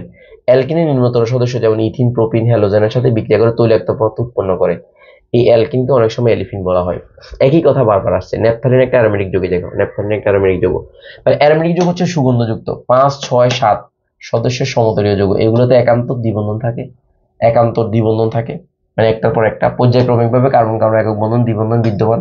তাছাড়া যৌগগুলো সমতলীয় সুষম চাকরিক এবং ন্যাপথালিনের ক্ষেত্রে উপযুক্ত বৈশিষ্ট্যগুলো বিদ্যমান থাকায় তাই ন্যাপথালিন একটা অ্যারোমেটিক যৌগ। অ্যাকচুয়ালি এটাতে হাকেল নীতির কথা বলা উচিত। এতে সঞ্চালনশীল ফোর এন প্লাস টু সংখ্যক, এই যে ফোর এন প্লাস টু সংখ্যক সংখ্যক সঞ্চারণশীল পাই ইলেকট্রন থাকে। সঞ্চারণশীল সঞ্চারণশীল পাই ইলেকট্রন থাকে, পাই ইলেকট্রন থাকে। এটা বললে তোমার জন্য সুবিধা হবে, আর কোনো ঝামেলা নেই ওকে এবার দেখো, অ্যালকেন অপেক্ষা, অ্যালকিন অধিক সক্রিয় কেন? আমি আবারও বলছি, অ্যালকেন অপেক্ষা, অ্যালকিন অধিক সক্রিয় কেন? অ্যালকেনটা বিক্রিয়া করে না সহজে বাট অ্যালকিনটা দ্বিবন্ধন থাকায় সহজে বিক্রিয়া করে, তার মানে সংযোজন বিক্রিয়া সহজে ঘটে। এই কারণে এটাকে আমরা কি বলতেছি? অধিক সক্রিয় বলতেছি। আচ্ছা এরপরে আসো পরে কোশ্চেন হচ্ছে, ফেনল অ্যালকোহল নয় কেন? ফেনল অ্যালকোহল নয় কেন? অ্যালকোহল, যে সকল জৈব যৌগে হাইড্রোক্সিন মূলক থাকে, তাদেরকে অ্যালকোহল বলে। তবে কিছু কিছু যৌগ হাইড্রোক্সিন মূলক বিদ্যমান থাকলেও তাদেরকে অ্যালকোহল বলা হয় না, যেমন ফেনল আমরা জানি অ্যালকোহলে হাইড্রোক্সিন মূলক সম্পৃক্ত হাইড্রোকার্বনের সাথে যুক্ত হয়, অন্যদিকে ফেনলে হাইড্রোক্সিন মূলক গ্রুপ একটা অসম্পৃক্ত, এই যে অসম্পৃক্তর সাথে যুক্ত হয়। এই কারণে এটাকে আমরা মানে অ্যালকোহল বলতে পারব না। অসম্পৃক্তর সাথে যুক্ত হওয়ার কারণে অ্যালকোহল বলা যাবে না। সম্পৃক্ত অ্যারাইল অ্যারাইলটা অসম্পৃক্ত। অ্যারাইল মানে হচ্ছে বেঞ্জিন বলা হচ্ছে। বেঞ্জিন বলে হচ্ছে সি দ্বিবন্ধন। দ্বিবন্ধন এখানে দ্বিবন্ধন থাকে, তো এখানে যদি ওই যুক্ত থাকে, তাহলে এটা অসম্পৃক্ত যৌগ। অসম্পৃক্ত যৌগে ওই যুক্ত আছে, এই কারণে তাকে অ্যালকোহল বলা হয় না। সাইক্লোপ্রোপিন একটা অসম্পৃক্ত। তার মানে সাইক্লোপ্রোপিন দ্বিবন্ধন আছে, এখানে অসম্পৃক্ত এই মূলকের নামকরণ, তাহলে কার্বন হচ্ছে তিনটা, তাহলে বিউটেন থেকে একটা হাইড্রোজেন কম আছে, এই কারণে এটা সরি প্রোপেন থেকে একটা হাইড্রোজেন কম আছে। প্রোপেন হচ্ছে তিন কার্বনওয়ালা যৌগ, একটা হাইড্রোজেন কম আছে। এই কারণে এটার নাম কি হবে বলতো? এই কারণে এটার নাম হবে প্রোপাইল কি হবে? প্রোপাইল তাহলে প্রোপাইল এর নামকরণটা হয়ে গেল প্রোপাইল ওকে ফাইন এবার দেখো অ্যালকোহল থেকে একটি হাইড্রোজেন দেখো, এখানে বলা হচ্ছে, দেখো অ্যালকেন থেকে একটি হাইড্রোজেন পরমাণু অ্যালকেন থেকে একটি হাইড্রোজেন পরমাণু অপসারণ করলে এক একযোজি মূলকের সৃষ্টি হয়, তাকে অ্যালকাইল মূলক বলে। তাকে কি বলে? অ্যালকাইল যেহেতু অ্যালকেনের সাধারণ সংকেত হচ্ছে এটা, তাই অ্যালকাইল মূলক আর ব্যবহার করলে লিখতে হবে, আমরা এরকম লিখতে হবে। এর পরিবর্তে আর লিখতে পারি, যেখানে অ্যালকাইল মূলক মানে অর্থাৎ মূল ব্যাপারটা হচ্ছে যে অ্যালকেন থেকে একটা হাইড্রোজেন কম থাকলে যেটা হয় সেটা হচ্ছে অ্যালকাইল মূলক। তিন কার্বনওয়ালা তাহলে প্রোপেন প্রোপেন থেকে একটা হাইড্রোজেন কম আছে কারণ নাম হবে প্রোপাইল শেষ আর কোনো কাহিনী নেই। একদম সহজ করে লিখবা, নিজের মতো করে লিখবা। ইথেন এবং প্রোপেন, সমগোত্রীয় যৌগ। কি বলেছে বলো? ইথেন এবং প্রোপেন, সমগোত্রীয় যৌগ। তো তুমি একটু চিন্তা করো, ইথেন দুই কার্বন, প্রোপেন হচ্ছে তিন কার্বন বাট এটা অ্যালকেন। অ্যালকেন মানে CN CN H twice N plus two এই সত্যটা মেনে চলতেছে, সুতরাং তারা একই সমগোত্রীয় যৌগ। সমগোত্রীয় মানে একই জাতের। ইথিন এবং ইথিন এক ধরনের অ্যালফিন। তো ঠিক আছে তো দ্বিবন্ধন থাকলে অ্যালিফিন, এগুলো এর সাথে ব্রোমিন এবং অর্থাৎ হ্যালোজেনের সাথে বিক্রিয়া করে তৈলাক্ত পদার্থ তৈরি করে কারণে তাদেরকে এলিফিন বলা হয়। পেট্রোলিয়ামের জীবাশ্ম জ্বালানি বলা হয় কেন? বহু প্রাচীনকালে উদ্ভিদ এবং প্রাণীর মৃতদেহের যে ধ্বংস অবশেষ মাটির নিচে পাওয়া যায়, তাকে জীবাশ্ম বলা হয়। শত শত মিলিয়ন বছর আগের প্রাণী উদ্ভিদের জীবাশ্ম রূপে পাওয়া গিয়েছে। কয়লা ও পেট্রোলিয়াম এবং প্রাকৃতিক গ্যাস যেগুলো আমরা জ্বালানি হিসেবে ব্যবহার করি, সেগুলো জীবাশ্ম রূপে মাটির নিচ থেকে পাওয়া যায়। তাই পেট্রোলিয়ামকে জীবাশ্ম জ্বালানি বলা হয়। তাই পেট্রোলিয়ামকে কি বলা হয় বলো? জীবাশ্ম জ্বালানি বলা হয়। কি বলা হয় বলো? জীবাশ্ম জ্বালানি বলা হয়। এবার আসো খুব সহজভাবে চিন্তা দেখো দেখো, এদিকে দেখো। সিএস দেখো সি সিক্স এইচ সিক্স কে অ্যারোমেটিক দেখো সি সিক্স এইচ সিক্স কে অ্যারোমেটিক হাইড্রোকার্বন কেন বলা হয়? দেখো সি সিক্স এইচ সিক্স কে অ্যারোমেটিক হাইড্রোকার্বন কেন বলা হয়? দেওয়া আছে, কি দেওয়া আছে? সি সিক্স এইচ সিক্স কে অ্যারোমেটিক হাইড্রোকার্বন কেন বলা হয়? তো তুমি একটু চিন্তা করো যে অ্যারোমেটিক যুগের বৈশিষ্ট্য আছে, এই কারণে তাকে আমরা কি বলতেছি? অ্যারোমেটিক অ্যারোমা যুক্ত বা সুগন্ধযুক্ত। যদিও বা এটা দুর্গন্ধের মতো, কিন্তু অনেকের কাছে সুগন্ধ মনে হতে পারে।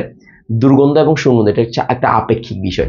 অনেক সময় দেখা যায় কেউ যদি সেন্ট মারে, তখন তার কাছে যদি গ্রান মনে হয়, অন্যজনের কাছে সেটা গ্রান মনে নাও হতে পারে। তখন আমরা সেটা বলি যে ঝামেলা আছে। তো এই ব্যাপারটা একটু মাথায় রাখবা ওকে সো এই পরের কোশ্চেন আসো। পরের কোশ্চেনটা কি বলেছে? দেখো ইথেন একটা সম্পৃক্ত কার্বন কার্বন একক বন্ধন, তাই সম্পৃক্ত। মিথেন এবং এর সমগোত্রীয় শ্রেণি, কারণ এটার ভিতরে অ্যালকেন আর এটা হচ্ছে অ্যালকোহল। অ্যালকেন এবং অ্যালকোহল ধর্মভিন্ন, এই কারণে তারা সমগোত্রীয় নয়।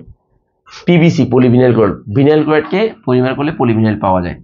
তারপর হচ্ছে এখানে কয়টা কার্বন একটা, ছয়টা। অ্যালকাইল মূলক একটা ব্যাখ্যা। তার মানে দেখো, এখানে এটা হচ্ছে হেক্সাইল মূলক আর হেক্সেন থেকে একটা হাইড্রোজেন কম আছে। একটা হাইড্রোজেন কম আছে কারণে এটা হেক্সাইল মূলক তারপরে দেখো পরের কোশ্চেন মিথেন একটা প্যারাফিন যৌগ। অবশ্যই, কারণ আকর্ষণ নাই অ্যালকেন অ্যালকেনগুলো প্যারাফিন যৌগ পলিমারকরণ বিক্রিয়া কাকে বলে? কিছুক্ষণ আগে দেখাচ্ছি পলিমারকরণ তারপরে এটাকে প্যারাফিন বলার কারণও বুঝছ আকর্ষণ নয়। মিথানল ইথানল দুইটা একই, কারণ ওইচ মূলক আছে দুইটার মধ্যে। তারপরে দেখো সাইক্লোপ্রোপেন একটা বদ্ধ শিকল হাইড্রোকার্বন হ্যাঁ অবশ্যই সাইক্লোপ্রোপেন সাইক্লোপেন্টেন পাঁচটা কার্বন থাকবে, তো বদ্ধ আছে, তার মানে একটার সাথে আরেকটা শিকল বদ্ধ অবস্থায় আছে, এবং কোনো দ্বিবন্ধন নাই, এই কারণে অ্যালকেন তো এই কারণে এটা একটা বদ্ধ শিকল যুক্ত যৌগ। ইথিন একটা হাইড্রোকার্বন অবশ্যই হাইড্রোজেন এবং কার্বনের সমন্বয়ে গঠিত যৌগগুলোকে হাইড্রোকার্বন বলে, তাহলে ইথিনে কার্বন এবং হাইড্রোজেন ছাড়া অন্য কোনো যৌগ নাই, এবং সেটার মধ্যে দ্বিবন্ধন আছে, এই কারণে সেটা অসম্পৃক্ত হাইড্রোকার্বন ইথেন পানিতে দ্রবীভূত হয় না, মনে রাখবা এটা একটা জৈব যৌগ। পানি হচ্ছে একটা পোলার যৌগ। জৈব যৌগ পোলার দ্রাবকে দ্রবীভূত হয় না, মনে রাখবা। জৈব যৌগ পোলার দ্রাবকে দ্রবীভূত হয় না। বাংলা সিনেমার একটা ডায়লগ আছে, সেটা হচ্ছে এরকম যে, বলে, তেল আর জলে যেমন মিস, মিক্স হয় না, তোর সাথে আমার হচ্ছে এমন কি সম্পর্ক হবে না? নায়ক, নায়িকাদেরকে বলে তোমার নায়িকা, নায়ককে বলে, যখন প্রাথমিকভাবে যখন তাদের আলোচনা হয় বা প্রাথমিকভাবে যখন তাদের রিলেশনটা তৈরি হতে চায় তখন আর কি। তো এই ক্ষেত্রে তেল আর জলে মিক্স হবে না। তেল হচ্ছে জৈব যৌগ আর জল হচ্ছে অজৈব যৌগ, পোলার যৌগ। তো এই কারণে তেল আর জলে মিক্স হবে না। তাহলে অ্যালকেন হচ্ছে ইথেন এটা হচ্ছে একটা জৈব যৌগ, আর পানি হচ্ছে একটা অজৈব যৌগ। জৈব যৌগ, জৈব দ্রাবকে দ্রবীভূত হয়, কিন্তু অজৈব যৌগতে দ্রবীভূত হবে না। এই হচ্ছে কাহিনী। লাইক ডিজোস লাইক বলে, সমধর্মী যৌগ, সমধর্মী দ্রাবকে দ্রবীভূত হয়। লাইক ডিজোস লাইক বলা হয় এটাকে। ওকে ফাইন এরপরে দেখো এইচ সি ডাবল এইচ একটা অ্যাসিড হ্যাঁ অ্যাসিড সি ডাবল এইচ মানে এইচ যদি কোনো একটা যৌগ থেকে যদি এস প্লাস দান করতে পারে, তাহলে সেটাই তো আমরা জানি যে স্বাভাবিকভাবে এস প্লাস যদি কেউ দান করতে পারে তাহলে সেটাই তো আমরা অ্যাসিড বলতে পারব। মিথানল একটা পোলার যৌগ নয় কেন? মিথানল পোলার যৌগ কেন? পোলার মানে কি? পোল বা প্রান্ত সৃষ্টি হবে। পোল বা প্রান্ত, তার মানে তড়িৎ ঋণাত্মকতার কারণে। শেয়ারকৃত ইলেকট্রন নিজের দিকে টেনে আনবে, আর এটা শেয়ারকৃত ইলেকট্রন এর দিকে এর থেকে ছুটে যাবে। ফলে এটা আংশিক ঋণাত্মক চার্জ এটা আংশিক ধনাত্মক চার্জ এই কারণে মিথানল একটা কি যৌগ বলো তো পোলার যৌগ। আর বলো, এই কারণে মিথানল একটা কি যৌগ বলো? পোলার যৌগ। আর কোনো ঝামেলা নেই। দেখো এবার দেখো, নৈলনের ঘনীভবন পরিমাণ কেন? ঘনীভ এই যে কিছুক্ষণ আগে বললাম, ঘনীভবন কেন? কারণ এটা ঘনীভূত হয়। আর এখানে হাইড্রোজেন একটা থাকে আর এখানে ওইস মূলক তখন বিক্রিয়া করে পানি তৈরি হয়ে যায়। সো এখানে সিও এনএইচ বন্ধন তৈরি হয়। যে সিও এনএইচ বন্ধন তৈরি হয়। তাহলে পানিটা অপসারিত হয়। আর পানিটা অপসারিত হয় বিদায়, এইটাকে আমরা ঘনীভবন বলি। ঘনীভূত হওয়া মানে পানি অপসারিত হওয়া। শেষ, আর কোনো ঝামেলা নেই। দেখাই দিছি আমি তোমাকে। তারপর দেখো মানে কতগুলো যে এটার ভিতর থেকে আসছে এটা কি বলতাম? মানে ক খ আসছে, আল্লাহ মালুম মানে অনেক মানে অনেকগুলো ক খ আসছে সবগুলো পড়াবো, সমস্যা নেই, অসুবিধা নেই ঝামেলা নাই। এরপরে দেখো এরপরে দেখো। মিথেন একটা অ্যালকোহলযুক্ত অ্যালকোহল অ্যালকাইলমূলক অবশ্যই পারবা। প্রোপেন হচ্ছে প্রোপিন অধিক সক্রিয় প্রোপেন হচ্ছে অ্যালকেন, আর প্রোপিন হচ্ছে অ্যালকাইন। অ্যালকাইন সহজে সংযোজন বিক্রিয়া দেয়। অ্যালকাইন সহজে সংযোজন বিক্রিয়া দেয়। ইথানলকে জ্বালানি, তার মানে ইথানল উত্তম রূপে জ্বালানি, কারণ এটা যদি আগুনে পোড়ানো হয়, তাহলে সেটা প্রচুর পরিমাণে তাপ এবং শক্তি উৎপন্ন করে। ইথানল হাইড্রোকার্বন নয় কেন? হাইড্রোকার্বন নয় কেন? শুধুমাত্র কার্বন ও হাইড্রোজেনের সমন্বয়ে গঠিত দ্বিমূল যৌগকে হাইড্রোকার্বন বলে। ইথানলের আণবিক সংকেত হচ্ছে সিএস থ্রি ওইচ আছে। তার মানে ইথানলের মধ্যে অক্সিজেন, কার্বন, হাইড্রোজেন সমন্বয়ে গঠিত। তাই ইথানল জৈব যৌগ হলেও হাইড্রোকার্বন নয়। জৈব যৌগ কিন্তু হাইড্রোকার্বন নয়। কেন? হাইড্রোজেন আর কার্বন ছাড়া তো অন্য কোনো মূল, অন্য কোনো পরমাণু আছে। এই কারণে জৈব যৌগ, এই হাইড্রোকার্বন নয়। সাইক্লোবিউটেন একটি এলিফেটিক যৌগ। তাহলে সাইক্লোবিউটেন এলিফেটিক যৌগ কেন? কারণটা হচ্ছে সাইক্লোবিউটেনের গাঠনিক সংকেত থেকে দেখা যায় চারটি মিথিলিন মূলক যুক্ত থাকে, একক বন্ধন দ্বারা যুক্ত থাকে। তাহলে এই কারণে এটা এলিফেটিক যৌগ। একক বন্ধন যদি থাকে এলিফেটিক যৌগ। একক বন্ধন থাকলে এলিফেটিক যৌগ। মিথেনের অপ- অপূর্ণ দহন পরিবেশের জন্য ক্ষতিকর হ্যাঁ। কারণ মিথেন একটি জৈব জ্বালানি, অতিরিক্ত অক্সিজেনের সাথে বিক্রিয়া করে কার্বন ডাইঅক্সাইড আর পানি উৎপন্ন করে। কিন্তু অক্সিজেন সরবরাহ পর্যাপ্ত না হলে, দেখো, কিন্তু অক্সিজেন সরবরাহ পর্যাপ্ত না হলে মিথেনের অসম্পূর্ণ দহনে কার্বন ডাইঅক্সাইডের পরিবর্তে অতি বিষাক্ত কার্বন মনোক্সাইড গ্যাস তৈরি হয়। এই কারণে এটা আমাদের জন্য ক্ষতিকর। তারপর হচ্ছে ইথেনকে সম্পৃক্ত অবশ্যই কার্বন কার্বন একটা আছে। পেট্রোলিয়াম শিল্পে বিয়োজন একটি গুরুত্বপূর্ণ বিক্রিয়া, কারণ পেট্রোলিয়াম শিল্পে বিয়োজিত হয়ে অ্যালকেন তৈরি হয়। দেখো পেট্রোলিয়াম শিল্পে ব্যবহৃত অনেক অ্যালকেন পেট্রোলিয়াম থেকে প্রাপ্ত অ্যালকেনের প্রভাবকীয় বিয়োজন দ্বারা উৎপন্ন হয়। তাই পেট্রোলিয়াম শিল্পে বিয়োজন একটা গুরুত্বপূর্ণ বিক্রিয়া। বিউটিন একটা অসম্পৃক্ত। সম্পৃক্ত মানে কার্বন কার্বন একক বন্ধন। আর কার্বন কার্বন দ্বিবন্ধন থাকলে অসম্পৃক্ত। দ্বিবন্ধন আছে, এই কারণে অসম্পৃক্ত। এরপরে দেখো, এখানে দেওয়া আছে সাইক্লোবিউটেন সাইক্লোবিউটেন এবং সাইক্লোবিউটিন দুইটা যৌগের ভিন্নতা ব্যাখ্যা করো। কার্বন কার্বন একক বন্ধন, কার্বন কার্বন দ্বিবন্ধন। কার্বন কার্বন দ্বিবন্ধন থাকলে অসম্পৃক্ত, কার্বন কার্বন একক বন্ধন থাকলে সম্পৃক্ত। এরপরে দেখো ইথেন ও ইথিনের মধ্যে কোনটি কম দাহ্য দাহ্য? আমি আবার বলছি, ইথেন ও ইথিনের মধ্যে কোনটি কম দাহ্য? একটু খেয়াল করো। ইথেন ও ইথিনের মধ্যে কোনটি কম দাহ্য? ইথেন আর ইথিনের মধ্যে কোনটি কম দাহ্য? ব্যাখ্যা করো। তো একটু চিন্তা করো যে দাহ্য মানে কি? তার মানে হচ্ছে সহজে বিক্রিয়া করবে অক্সিজেনের সাথে। তাহলে ইথিন একটি অ্যালকিন, ইথেন হচ্ছে অ্যালকেন। ইথেন ও ইথিনের মধ্যে ইথিন কম দাহ্য, কারণ এতে ইথেন অপেক্ষা হাইড্রো, হাইড্রোজেনের শতকরা পরিমাণ কম। আর হাইড্রোকার্বনে কার্বন হাইড্রোজেন উভয় দাহ্য পদার্থ হলেও কার্বনের তুলনায় হাইড্রোজেন অধিক দাহ্য, তাই হাইড্রোজেন শতকরা পরিমাণ কম হলে ইথিন এবং ইথেন কম দাহ্য। তার মানে আমরা জানি যে হাইড্রোজেন বেশি হলে তার মানে দাহ্যর পরিমাণটা বাড়বে। ইথেনে হাইড্রোজেন থাকে ছয়টা আর ইথিনে হাইড্রোজেন থাকে চারটা। এই কারণে এটা কম দাহ্য। ইথিনটা কম দাহ্য। ওকে ফাইন এবার আসো যে উন্নত দেশে পেট্রোলের সাথে ইথানল মিশিয়ে ব্যবহার করা হয় কেন? ব্রাজিল, উত্তর আমেরিকা সহ উন্নত দেশসমূহে ইথানলকে পেট্রোলের সাথে মিশ্রিত করে ব্যবহার করা হয়। কারণ খনিজ জ্বালানি মজুদ কি নয় বলে অপরন্ত নয়। এমতো অবস্থায় ইথানলকে জ্বালানি হিসেবে ব্যবহার করা হয় গেলে খনিজ জ্বালানি মজুদের উপর চাপ কম পড়বে। ইথানল একটি জৈব রাসায়নিক যৌগ। শ্বেতসার জাতীয় দানাদার যেমন আলু, ভুট্টা ইত্যাদি গাজন প্রক্রিয়া উৎপন্ন করা হয়। অতএব খনিজ জ্বালানির মতো জৈব জ্বালানি ইথানল পূরণ হয় নেই। তাই খনিজ জ্বালানির মজুদের উপর চাপ কমাতে পেট্রোলের সাথে ইথানলকে মিশিয়ে ব্যবহার করা হয়। অসম্পৃক্ত হাইড্রোকার্বন কি বোঝায়? কার্বন কার্বন একক বন্ধন দ্বিবন্ধন বা ত্রিবন্ধন থাকলে অসম্পৃক্ত যৌগ। সো এগুলা সহজে পারবা, আর কোনো ঝামেলা নেই। এবার আমরা সোজা সিকিউতে চলে আসব, আর কোনো কথা নাই। সিকিউতে আসো, এবার হচ্ছে কাহিনী। এবার আমরা সিকিউ দেখব, একটা একটা করে সিকিউ দেখব ওকে ফাইন ভালো করে খেয়াল করলে এগুলো একদম পানির মতো সহজ মনে হবে। দেখো, একটা একটা সলভ করো ভালো করে। দেখো, এটা হচ্ছে একটা প্রোপা, এটা হচ্ছে একটা সোডিয়াম প্রোপানয়েড তিন কার্বন সোডিয়াম হাইড্রোক্সাইড বিক্রিয়া করছে সোডা লাইমের সাথে বিক্রিয়া করছে। তাহলে এটা একটা ডিকার্বক্সিলেশন বিক্রিয়া। এই ডিকার্বক্সিলেশন বিক্রিয়ার মাধ্যমে আমরা এখানে পাবো এক্স এক্স পেলে কয় কার্বন পাবো? তার মানে সিএইচ থ্রি সিএইচ থ্রি তার মানে ইথেন পাবো ইথেন পাবো, আর সোডিয়াম কার্বনেট ওকে ফাইন প্রোপিনকে যদি আমরা পলিমারকরণ করি, তাহলে পলিপ্রোপিন পাবো। তাহলে প্রোপিনের সংখ্যা হচ্ছে সিএইচ থ্রি দেখো সিএইচ টু দেন আমরা এখানে ডাবল সিএইচ টু হবে না সিএইচ হবে সিএইচ হবে হ্যাঁ দেখো সিএইচ আর ডাবল বোন দেবো, আর এখানে সিএস টু দেবো প্রোপিন তো এখন তুমি খেয়াল করো, এটা যদি পলিপ্রোপিন হয়, তাহলে সেক্ষেত্রে এটা বিক্রিয়াটা কেমন হবে? এটা এন সংখ্যক। তাহলে এটা বিক্রিয়াটা হবে সিএস থ্রি দেখো একটু ভালো করে খেয়াল করলে তখন সহজ হবে। তখন এই দেখো সিএইচ এখানে সিএইচ হবে, এই জায়গাতে সিএইচ হবে, দেখো সিএইচ হবে, এটা সিএইচ হবে দেন এখানে একটা বন্ধন হবে সিএস টু হবে ওকে ফাইন দেন এই পাশে একটা হাত হবে, এই পাশে একটা হাত হবে, হাত হয়ে এরকম এন সংখ্যক হবে এন সংখ্যক। বাট এই জায়গাতে একটা কি হবে, এই যে সিএইচ এখানে একটা সিএস থ্রি হবে। তাহলে এই যে এটার নাম, এটা হচ্ছে পলিপ্রোপিন মানে দৈত্যাকার অণু তৈরি করে। তো আমরা উদ্দীপকটা যদি বুঝে যাই, তাহলে বাকি অঙ্কগুলো আমাদের জন্য সহজ। উদ্দীপকটা বুঝাটা হচ্ছে ফ্যাক্টর আমি আবারও বলছি, উদ্দীপকটা বুঝাটা হচ্ছে ফ্যাক্টর ওটা যদি ভালো করে বুঝে যেতে পারো, যেরকম দেওয়া হোক না কেন, তোমাকে আর আটকাতে পারবে না। তাহলে তুমি খেয়াল করো এক্স যোগ থেকে মানে এক্স যোগ থেকে কীভাবে ইথানল পাওয়া যাবে? এক্স যোগ থেকে কীভাবে ইথানল পাওয়া যাবে? তো এক্স যোগটা কি মোনা? এক্স যোগটা হচ্ছে তোমার ইয়া অ্যালকেন মানে ইথেন ইথেন থেকে ইথানল পাবো। তো ইথেন থেকে যদি ইথানল পাইতে হয়, তাহলে অবশ্যই ইথেনকে এমন একটা যৌগ নিতে হবে, ইথাইল হ্যালাইডে মানে ইথাইল হ্যালাইডে নিতে হবে। তার মানে ক্লোরো ইথেন বা ব্রোমো ইথেনে নিতে হবে। ব্রোমো ইথেনে নিয়ে দেন তাকে সোডিয়াম হাইড্রোক্সাইডের সাথে যদি বিক্রিয়া করি, ওই যে যেখানে থাকিবে জল, সেখানে হবে অ্যালকোহল, অনেকভাবে করা যায়। তো আমরা কি করব দেখো, এক নং বিক্রিয়া সম্পন্ন করলা, এখানে বলছে কি থেকে? এক্স থেকে, এই যে এক্স থেকে। তাহলে এক নং বিক্রিয়া সম্পন্ন, এটা হচ্ছে ইথেন। তো ইথেন কি যে ইউবির উপস্থিতি বিক্রিয়া দিলে যে ইথাইল ক্লোরাইড, যেটা আমি বললাম যে ইথাইল ক্লোরাইড, আর ইথাইল ক্লোরাইডকে যদি আমরা ওই যে অ্যাকোয়াস দেখছি অ্যাকোয়াস যেখানে থাকিবে জল, সেখানে হবে অ্যালকোহল সোজা কথা, এই যে কথাগুলো তোমাকে জানতে হবে, আর কোনো কাহিনী নেই। নিজের মতো করে লিখো, আর কোনো ঝামেলা নেই। ওকে ফাইন তাহলে এটা খুবই সহজ সমাধান হয়ে গেল। এবার আসো। ওয়াই যোগটি আমাদের জীবনে যেমন প্রয়োজনীয়, তেমনই ক্ষতিকর প্রভাব রয়েছে। তাহলে ওয়াই যোগটি কি? পলি, কি বলা হয়? পলিপ্রোপিন বলা হয়। তো একটু চিন্তা করো যে পলিপ্রোপিনটা পলিমার যৌগ পলিমার যৌগ মাটির সাথে যখন আমাদের অনেক কাজে পলিমারটা ব্যবহার করা হয়। পলিমারটা অনেক ব্যবহার করা হয় পলিমারটা অনেক ব্যবহার করা হয়। কিন্তু আমরা যদি এইভাবে চিন্তা করি যে পলিমারটা যদি মাটির সাথে বা পরিবেশের সাথে মিশে, তাহলে দীর্ঘদিন পরিবেশে থাকে, লক্ষ লক্ষ বছর অপরিবর্তিত থাকবে, তো ফলে পরিবেশের ক্ষতি হবে, মাটির সাথে মিশবে না।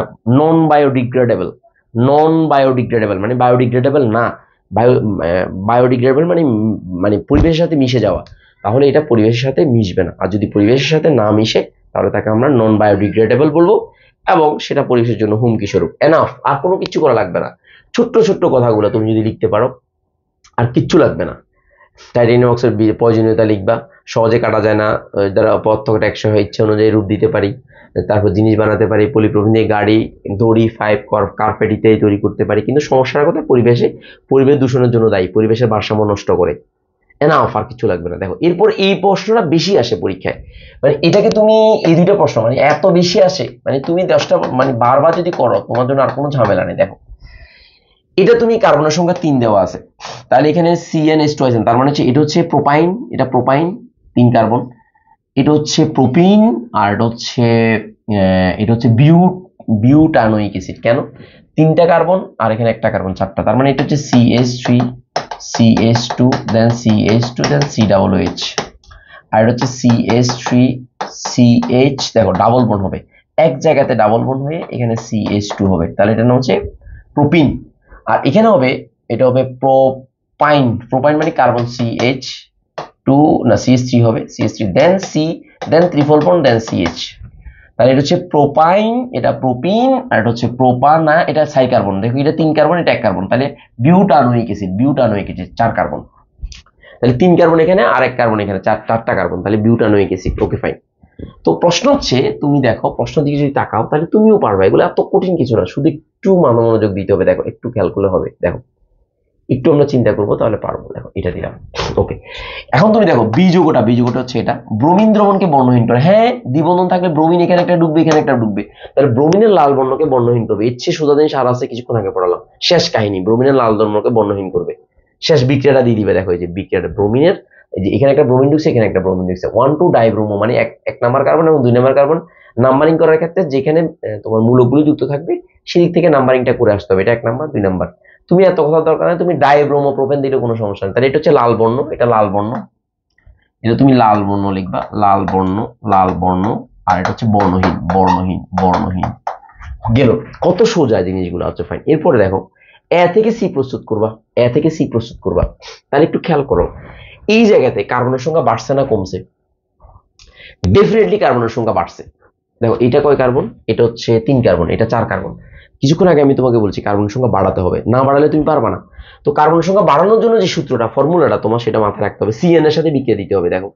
হ্যাঁ, এরকম ভাবে দিয়েছে কিনা জানি হ্যাঁ দিয়েছি দেখো। প্রথমে আমরা যে কাজটা করছি দেখো এখানে যে কাজটা করছি প্রথমে এই অ্যালকাইনকে আমরা অ্যালকাইন কি? যে অ্যালকাইনকে আমরা কি করছি? প্রোপাইনকে ল্যাড এটা হচ্ছে দুর্বল বিজারক এটা হচ্ছে দুর্বল বিজারক একটু মনে রাখবে এটা হচ্ছে দুর্বল বিজারক দুর্বল বিজারক এটা দুর্বল প্যালাডিয়াম এবং বেরিয়াম সালফেট দুর্বল বিজারক দুর্বল বিজারক দুর্বল বিজারক। বিজারক তাহলে দেখো, দুর্বল বিজারকের সাথে বিক্রিয়া দিয়ে আমরা প্রোপিন তৈরি করেছি। কি তৈরি করেছি বলো? প্রোপিন তৈরি করেছি। আমি আবারও বলেছি, প্রোপিন তৈরি করেছি। একটু ভালো করে খেয়াল করো, প্রোপিন তৈরি করেছি। প্রোপিন তৈরি করেছি। আমি আবার বলছি, কি বলছি বলো তো? প্রোপিন তৈরি করেছি। একদম আর কোনো ঝামেলা নেই। প্রোপিন তৈরি করেছি। দেখো, তো প্রোপিনকে যদি আমি এর সাথে বিক্রিয়া দিই মানে সংযোজন বিক্রিয়া দিই, তাহলে মাঝখানে দ্বিবন্ধন হয়ে গিয়ে হাইড্রোজেন পারক্সাইড উপস্থিতি এটা মার্কনিকভ নীতির বিপরীত নীতি বলে যদিও বা। তারপর তুমি জেনে রাখো যে সংযোজন বিক্রিয়া, তাহলে এখানে কি? অ্যালকাইল হ্যালাইড তৈরি করছি। মানে অ্যালকাইল হ্যালাইড তৈরি করছি, অ্যালকাইল হ্যালাইড তৈরি করছি। কি তৈরি করছি? অ্যালকাইল হ্যালাইড তৈরি করছি।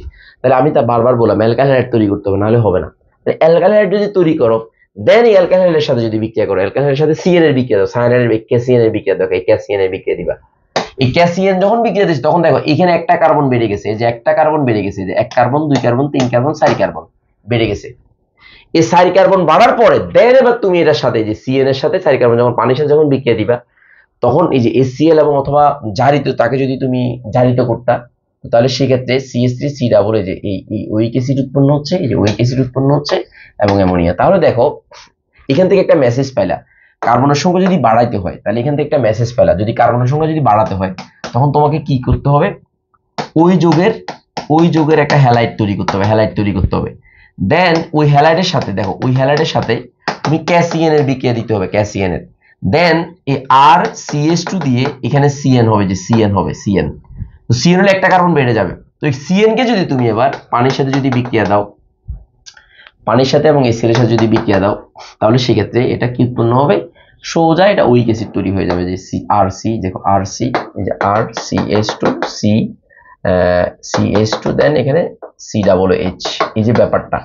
তাহলে কোনো একটা মানে যৌগকে কার্বনের সঙ্গে যদি বাড়াইতে হয় ক্যাসিনের সাথে বিক্রিয়া হ্যালাইট তৈরি করবা আগে তারপর ক্যাসিনের সাথে বিক্রিয়া দিবা তারপর এটার সাথে বিক্রিয়া। এই তিনটা ধাপ তোমাকে মনে রাখতে হবে এনাফ আর কিছু লাগবে না। দেখুন তুমি দেখো ইন্টারমিডিয়েট স্টুডেন্টদের জন্য মানে যারা ইন্টারের পড়ে তাদের জন্য আমি জৈব যুগের ইন্টারেক্টিভ ম্যাপ নামে একটা বই আছে, আমি তৈরি করছি দেখো।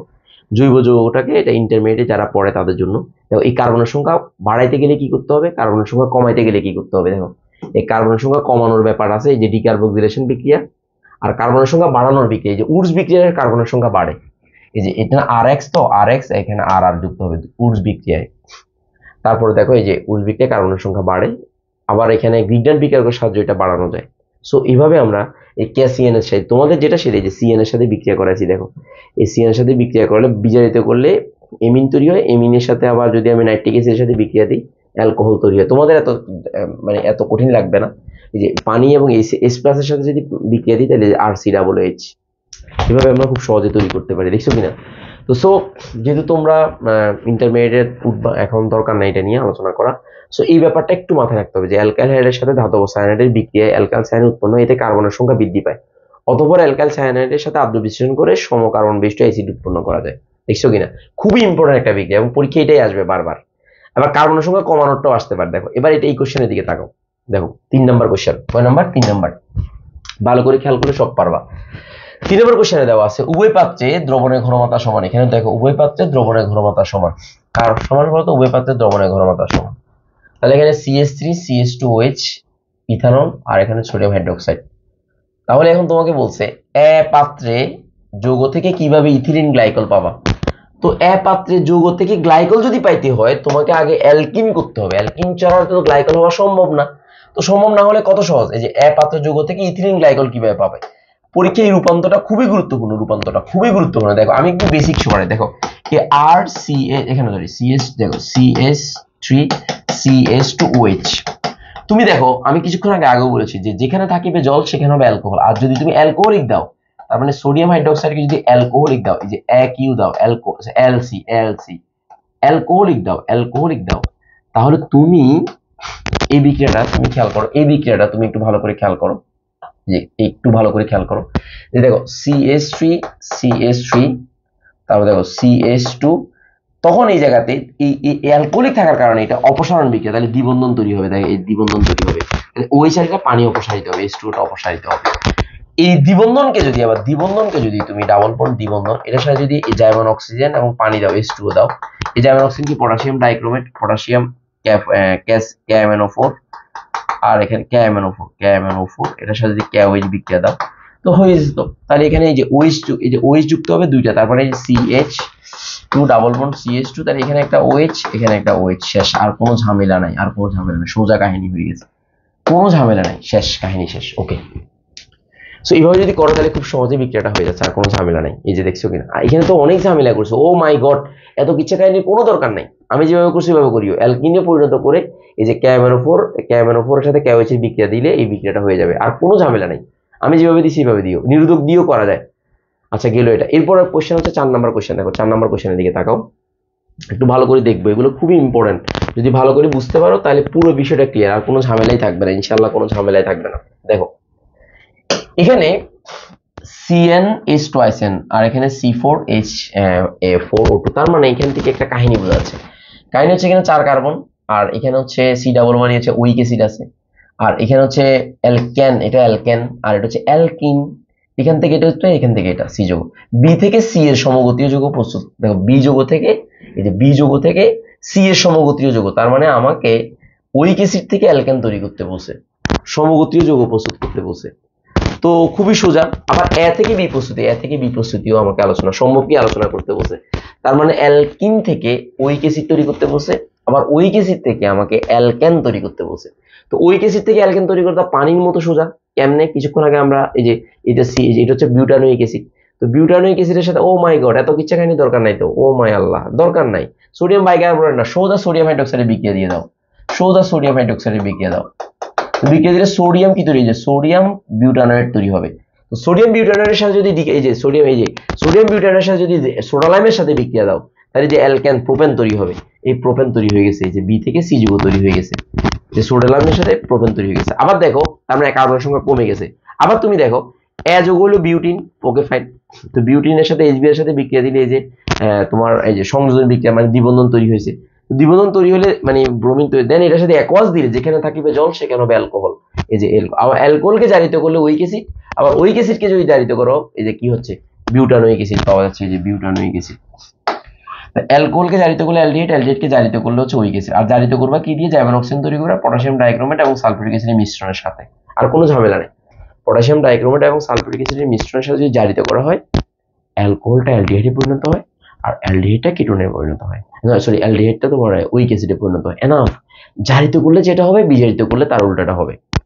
মাথায় রাখবা সোফাই চাইলে তুমি অন্যভাবেও করতে পারো, অনেকভাবে করা যায়। আমি করতেছি, দেখো, তোমাদেরকে আমি দেখা দিচ্ছি। এগুলো যদি পারো না, কি মজা লাগবে? মানে আমি কিন্তু সহজে করে দিচ্ছি, দেখো। এখানে আমাকে বলছে এ থেকে বিযোগ তৈরি করতে বলছে। দেখো এ থেকে বিযোগ এটা হচ্ছে অ্যালকিন আর এটা হচ্ছে অ্যালকেন এ থেকে সরি এ থেকে উইক অ্যাসিড তো এ থেকে উইক অ্যাসিড মানে হচ্ছে অ্যালকিন থেকে, দেখো অ্যালকিন থেকে, একদম সোজাভাবে চিন্তা করো অ্যালকিন থেকে। সি, চারটা চারটা যৌগ আছে এখানে খেয়াল করো, চারটা যৌগ যদি তৈরি হয়, তাহলে একটু ভালো করে খেয়াল করো, চারটা যৌগ। চারটা হলে C H three C H two C double bond তারপর হচ্ছে এখানে সি এখানে সি এইচ থাকবে C H then double bond এখানে সি এইচ টু তুমি বিক্রিয়া যদি করো, তুমি বিক্রিয়া করো বিক্রিয়া করলে কি উৎপন্ন হচ্ছে, দেখো, বিক্রিয়া যদি করো, তাহলে তুমি একটু ভালো করে খেয়াল করো।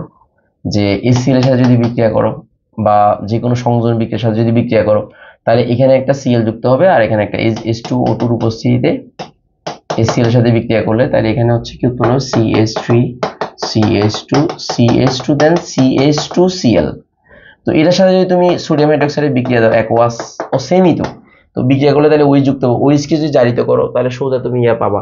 তো এগুলা একদম সোজা। মানে এত ঝামেলা নাই। আবার শর্টকাটও মানে তুমি যদি তোমার মতো করে করতে চাও, তোমার মতো যেভাবে ক্লোরিন না দিয়ে ব্রোমিন দিতে পারো যে কোনো কিছু দিতে পারো, ইচ্ছে মতো দেওয়া যায় এত কোনো ব্যাপার না। আচ্ছা এইভাবে করা এটা ঠিক আছে। এরপর দেখো সবগুলো তো আমরা করলাম, এবার এই সেম কাহিনী। মানে এরপর হচ্ছে আমরা পাঁচ নাম্বার কোশ্চেনের দিকে তাকাবো। কয় নাম্বার? পাঁচ নাম্বার। একটু ভালো করে দেখো। এই কোয়েশনে তুমি দেখো, একটু ভালো করে দেখো যে এটা অ্যালকাই, অ্যালকিন, এটা হচ্ছে অ্যালকেন, এটা হচ্ছে অ্যালকাইন। তো সোজা কথা যে এটার সাথে যদি বিক্রিয়া করে, তাহলে জ্যাড যোগে যে কিছুক্ষণ আগে দেখলাম আমরা এরকম যদি মার্কিউরিক সালফেট এবং মার্কারিক যদি বিক্রিয়া করে, তাহলে আমরা কি উৎপন্ন হচ্ছে? জ্যাড উৎপন্ন হচ্ছে। তো প্রশ্ন হচ্ছে এক, দুই প্রশ্ন হচ্ছে দেখো এখানে উদ্দীপকের এক, দুই, তিন মানে এক, দুই, তিন যৌগকে কীভাবে শনাক্ত করবে? শনাক্ত করার জন্য এটা খুব ব্রোমিন পরীক্ষা, এক, দুই, তিন হলো প্রোপিন প্রোপাইন এবং প্রোপিন প্রোপেন এবং প্রোপাইন তো প্রোপিনকে শনাক্ত করা যায় ব্রোমিন দ্রবণ পরীক্ষা দিয়ে। প্রোপাইনের শনাক্তকরণ হচ্ছে, এটা হচ্ছে অম্লধর্মী। তো অম্লধর্মী হলে সোডিয়ামের সাথে যদি বিক্রিয়া করা হয় তরল অ্যামোনিয়ার সাথে, তাহলে এখানে হাইড্রোজেন গ্যাস বুদবুতাকার উপরের দিকে হবে। অন্যদিকে অ্যালকেন কোনো ধাতুর সাথে বিক্রিয়া করবে না। তো সো এইভাবে আমরা শনাক্ত করতে পারি। অ্যালকেন, অ্যালকিন এবং অ্যালকেনের শনাক্তকরণটা আমরা সহজে করতে পারি। তরল অ্যামোনিয়ার সাথে সোডিয়ামের বিক্রিয়া দিলে এখানে কি হচ্ছে মানে সহজে এসকে অপসারণ করতে পারে। অ্যালকাইন ওয়ান হচ্ছে অম্লধর্মী এই কারণে। অ্যালকাইন ওয়ান হচ্ছে অম্লধর্মী, এই কারণে বিক্রিয়াটা করবে। মানে এস প্লাসটা চলে যাবে। তো এবং হাইড্রোজেন গ্যাস বুদবুদ আকারে উঠবে, এটাই। এটা হচ্ছে আমাদের এই তিনটা প্রমাণ। তো আমাদেরকে বলা নাই। এটা থেকে যে এটা উৎপন্ন, এটা এই বিষয়টা আমাদেরকে আলোচনা করা নাই, এখানে প্রশ্ন নেই। এরপরে কোশ্চেন আসো। সিলেট বোর্ড দু হাজার তেইশ। দেখো, ভালো করে খেয়াল করো। এটা অ্যালকাইন আর এটা হচ্ছে অ্যালকেন অ্যালকিন। তাহলে এনের মান, তাহলে হচ্ছে প্রোপাইন আর এটা হচ্ছে প্রোপিন। একটা অসম্পৃক্ত হাইড্রোকার্বন পরীক্ষার মাধ্যমে প্রমাণ করো ব্রোমিন দ্রবণ পরীক্ষা। বি যৌগ থেকে প্লাস্টিক যৌগ বোতল তৈরি করা হয়। তার মানে বি যৌগটা কি? অ্যালকিন। অ্যালকিন মানে পলিথিন। যে পলিথিন কীভাবে তৈরি হয়? অথবা পলি, পলিথিন, এই যে প্রোমিনের সাথে যদি বিক্রিয়া করে, এটা গেল, এরপরে দেখো, এই যে প্রোপিন। তো এটা যদি আমরা প্লাস্টিক যৌগ তৈরি করতে চাই, তাহলে সেক্ষেত্রে যে পলিপ্রোপিন উৎপন্ন হচ্ছে, এনাফ। সো সেম বিক্রিয়াগুলো বারবার আসতেছে।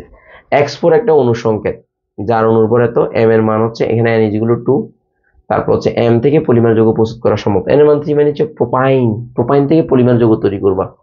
তো প্রোপাইন থেকে পলিমার যৌগ কীভাবে তৈরি করবা? খুব সহজে পারবা। প্রোপাইন থেকে পলিমার যৌগ, দেখো। এটা প্রোপাইন প্রোপাইন থেকে হাইড্রোজেনের সাথে বিক্রিয়া হলো প্রোপিন উৎপন্ন করলা প্রোপিন থেকে পলিপ্রোপিন উৎপন্ন করলা দ্যাটস ইট প্রোপিন থেকে পলিপ্রোপিন উৎপন্ন করলা। মানে একই প্রশ্ন বারবার। এ তিন কারণ বিশিষ্ট একটা জৈব যৌগ, বি হলো অ্যালকিনের প্রথম সদস্য। অ্যালকিনের প্রথম সদস্য মানে ইথিন। অ্যালকিনের প্রথম সদস্য মানে ইথিন। কারণ মিথিন তো হইতে পারে না, মিথিন তো হয় না। মিথিন হচ্ছে সি সি মিনিমাম দুইটা থাকলেই তো কার্বন কার্বন দ্বিবন্ধন সম্ভব। সো এখানে বি থেকে প্লাস্টিক শীট তৈরি করা। তো সো তিন কার্বনওয়ালা পারবা যে বি যৌগ হচ্ছে প্রোপিন ইথাইন আচ্ছা ইথিন এটা ইথিন তিন কার্বন জৈব যৌগ। আচ্ছা এখানে বলছে বি থেকে প্লাস্টিক শীট তৈরি করো। বি হলো অ্যালকিনের প্রধান সদস্য তার মানে হচ্ছে ইথিন ইথিন থেকে আমরা পলিথিন পাবো, এটা প্লাস্টিক এ তিন কার্বন তাহলে হচ্ছে উইক অ্যাসিড উইক অ্যাসিড কেন এখানে? দেখো, এখানে বলছে এ তিন কার্বন জৈব অ্যাসিড আচ্ছা জৈব acid propanoic acid propanoic acid সোডিয়ামের সাথে বিক্রিয়া করছে সোডিয়াম প্রোপানোয়েট সোডিয়াম প্রোপানের সাথে ডিকার্বোনেশন বিক্রিয়া ইথেন তৈরি হয়েছে। ইথেনকে ক্লোরিনের সাথে বিক্রিয়া হয়েছে ক্লোরো ইথেন তৈরি হয়েছে। ক্লোরো ইথেনকে কে হয়েছে যে অ্যালকোহলিকের সাথে বিক্রিয়া হয়েছে, অ্যালকিন তৈরি হয়েছে। এনাফ মানে একই জিনিস বারবার আসতেছে একই জিনিস বারবার আসতেছে, যদি পারো আর কি। ঠিক সেম ভাবে এটাও মানে যোগ দিছে অসম্পৃক্ত পরীক্ষার মাধ্যমে পড়ো এটাও সেম কাহিনী। প্রোপিন, দেখো, প্রোপিন প্রোপিন থেকে প্রোপেন প্রোপেন থেকে ব্রোমোপ্রোপেন ব্রোমোপ্রোপেন থেকে ওই যে এই- এই- এইখানে অবশ্যই এক- একইউ দিবে, একোয়াস একোয়াস। দেন একই বিক্রিয়া বারবার বারবার। তার মানে অ্যালকোহলকে জারিত করলে অ্যালডিহাইড অ্যালডিহাইডকে জারিত করলে উইক অ্যাসিড আবার উইক অ্যাসিড সোডিয়ামের সাথে বিক্রিয়া করে সোডিয়াম অ্যালকানোয়েট এটার সাথে বিক্রিয়া করে কার্বনের সংখ্যা দুইটা করছে। তার মানে কার্বনের সংখ্যা কমিয়ে ফেলেছে। আমি আবার বলছি, তো কার্বনের সংখ্যা যখন কমাইছো, দেখো কার্বন দুই কার্বন করছ। দুই কার্বন করার পরে দেন তুমি কি করছ? আবার এখান থেকে ইথানল ইথানো হয়ে গেছি। তার মানে তুমি একটু খেয়াল করো, এই কোয়েশ্চেনটা একটু ঝামেলা আছে। দেখো, একটু মজার জিনিস দেখো, ভালো করে খেয়াল করো। দেখো, এখানে বলছে যে দুই নং যৌগ থেকে ভিনেগার তৈরি করা যায় কিনা। দুই নং যৌগ মানে তিন কার্বন। তাহলে তিন কার্বনকে এক কার্বনে নিতে হবে। এক কার্বনে নিয়ে তারপরে তুমি ভিনেগার তৈরি করতে হবে সরি তিন কার্বনকে দুই কার্বনে নিতে হবে। দুই কার্বনে নিয়ে তার দুই কার্বনে নিতে গেলে উইক অ্যাসিড বানাইতে হবে। তো প্রথমে অ্যালকিনকে উইক অ্যাসিড বানাইছো। দেখো কত ভাবে প্রথমে অ্যালকিন থেকে অ্যালকেন অ্যালকেন থেকে অ্যালকাহালাইট আসলে এখানে এক লাইনে করা যায় তো চাইলে তুমি। এটাকে তুমি এত কাহিনী না করে সরাসরি বিক্রিয়া দিয়ে দাও। সরাসরি বিক্রিয়া দিলে তো এটার সাথে এটা বিক্রিয়া দিয়ে দিলে এটা পাওয়া যেত তাহলে এখানে ডাবল করতে হচ্ছে না। তো এটার সাথে অ্যাকোয়াস দিলে অ্যালকোহল হবে। অ্যালকোহলকে জারিত করলে উইক অ্যাসিড তৈরি হবে। উইক অ্যাসিডকে যদি ডিকার্বোক্সিলেশন বিক্রিয়া করি ডিকার্বোক্সিলেশন বিক্রিয়া যদি করে কার্বন সংখ্যা কমাইলাম অ্যালকেন করলাম অ্যালকেনকে আবার আমরা অ্যালকোহলে পরিণত করব। অ্যালকোহলে পরিণত করলে দেন আমরা কি করব? এই যে অ্যালডিহাইড এবং উইক অ্যাসিডে পরিণত করব। তার মানে কার্বনের সংখ্যা কমাইতে হবে। কার্বনের সংখ্যা কমাইতে হবে। কার্বনের সংখ্যা কি করতে হবে? এটা খুবই ইম্পর্টেন্ট একটা বিক্রিয়া। এটা বেশি বেশি করতে হবে। এটা খুবই ইম্পর্টেন্ট কার্বনের সংখ্যা কমাইতে হবে। এখানে কার্বনের সংখ্যা কমাইতে হবে। তো কার্বনের সংখ্যা কমাই, তারপরে বিক্রিয়াটা দিতে হবে। ঠিক সেম ভাবে এ থেকে এটা এটা হচ্ছে এটা দেখো এ সি এ তিন কার্বন বিশিষ্ট অ্যালকিন অ্যালকিন মানে তিন কার্বন মানে হচ্ছে প্রোপিন আর সিটা হচ্ছে পলিমার মানে পলিপ্রোপিন তাহলে প্রোপিন থেকে প্রোপিন থেকে তোমাকে বলছে যে এই উদ্দীপকের যৌগ অসম্পৃক্ত হাইড্রোকার্বন ব্যাখ্যা করো। তো অসম্পৃক্ত মানে ব্রোমিন দ্রবণ পরীক্ষা দেবে। ব্রোমিন দ্রবণ বি থেকে সি তৈরি করতে বলছে। দেখো ব্রোমিন দ্রবণ পরীক্ষা দিচ্ছে যে ব্রোমিন দ্রবণ যে পানির সাথে বিক্রিয়া করো, অথবা ব্রোমিনের সাথে বিক্রিয়া করলেও সেম মানে এখানে একটা ব্রোমিন যুক্ত হবে, এখানে একটা ব্রোমিন যুক্ত হবে। এটা হচ্ছে বেয়ার পরীক্ষা দিছে। বেয়ার পরীক্ষা কিছুক্ষণ আগে পড়ছো। বিক্রিয়াটি দেখো, এটার সাথে পানি যখন বিক্রিয়া করবে, কি তৈরি করতেছে? অ্যালকোহল। তার মানে ফসফরিক অ্যাসিডের সাথে পানি যদি বিক্রিয়া করে, তাহলে উইক অ্যাসিড অ্যালকোহল তৈরি অ্যালকোহল কেন তৈরি হয়? কারণ দেখো, কিছুক্ষণ আগে আমরা পড়েছিলাম যে অ্যালকিনের সাথে যদি যে অ্যালকিনের সাথে যে অ্যালকিনের সাথে যদি CS three CS double bond CS two এর সাথে পানির বিক্রিয়া হয় তাহলে যদি সালফিউরিক অ্যাসিডের উপস্থিতি বিক্রিয়া করে, তাহলে দেখো, একটা এইচ প্লাস আয়ন আর একটা ওএইচ আয়ন। দুই পাশে একটা এইচ প্লাস ঢুকবে আর একটা ওএইচ ঢুকবে। এই- সালফিউরিক অ্যাসিড এবং ফসফরিক অ্যাসিড দুইটাই সেম ধরনের ভূমিকা পালন করে। তাহলে সেক্ষেত্রে এটা হচ্ছে ইথানল তৈরি হচ্ছে। ইথানল না, প্রোপানল, তিন কার্বনের কারণে প্রোপানল তৈরি হচ্ছে। তাহলে এই পানির সাথে বিক্রিয়া করলে একটা এস প্লাস আর একটা ওএইচ, এটা যুক্ত হচ্ছে যে একটা এস প্লাস আর এখানে এস প্লাস একটা ওএইচ যুক্ত হয়েছে। যুক্ত হয়ে দেন বি যৌগ তৈরি হয়েছে। আর এটা হচ্ছে পলিপ্রো পলিপ্রিন এখন দেখো বি থেকে সি তৈরি করব। বি কে আমরা প্রোপানল প্রোপানলকে আমরা প্রোপিনে তৈরি করছি, নিরোধিত করে আবার নিরোধিত করে প্রোপিনে তৈরি করছি, ওকে ফাইন প্রোপিনকে আমরা পলিপ্রোপিনে নিয়ে গেছি, যে পলিপ্রোপিনে নিয়ে গেছি না আবার কোনো ঝামেলা নেই।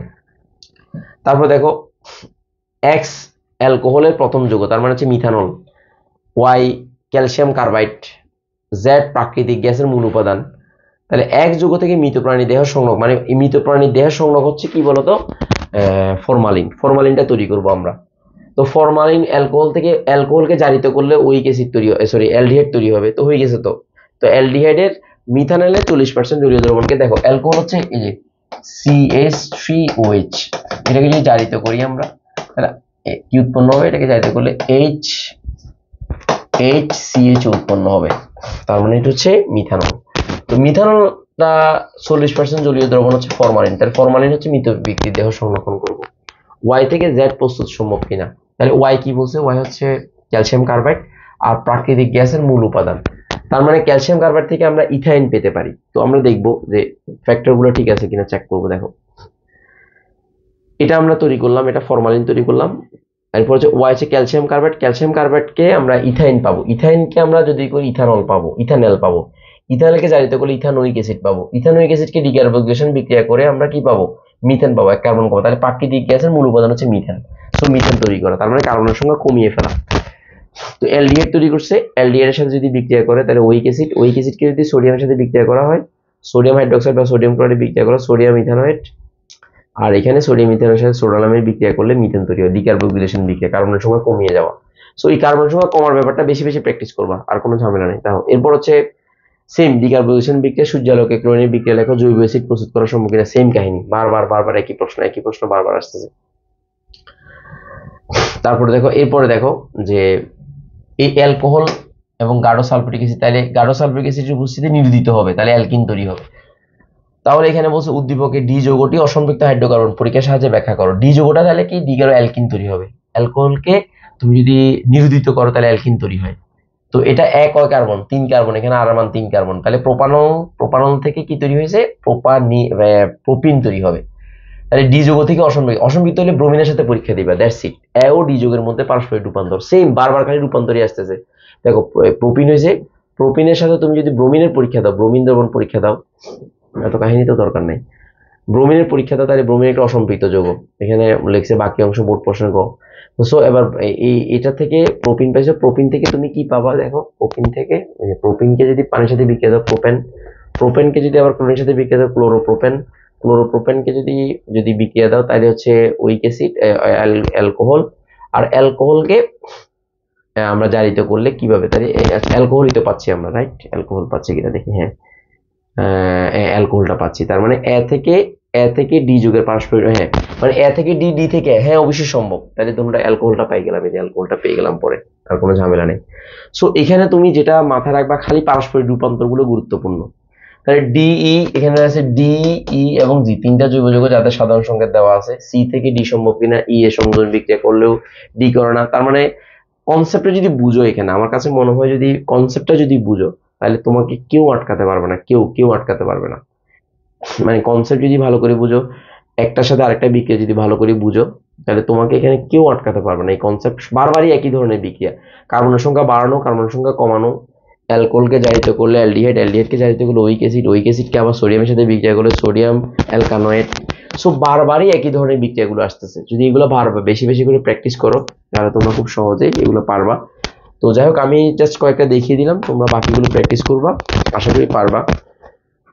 বেশি বেশি প্র্যাকটিস করবা, বেশি বেশি পারবা, হুম? তাহলে তোমাদের সবার জন্য শুভকামনা। তোমরা সবাই ভালো থাকো, সুস্থ থাকো, ধন্যবাদ সবাইকে। সালাম আলাইকুম।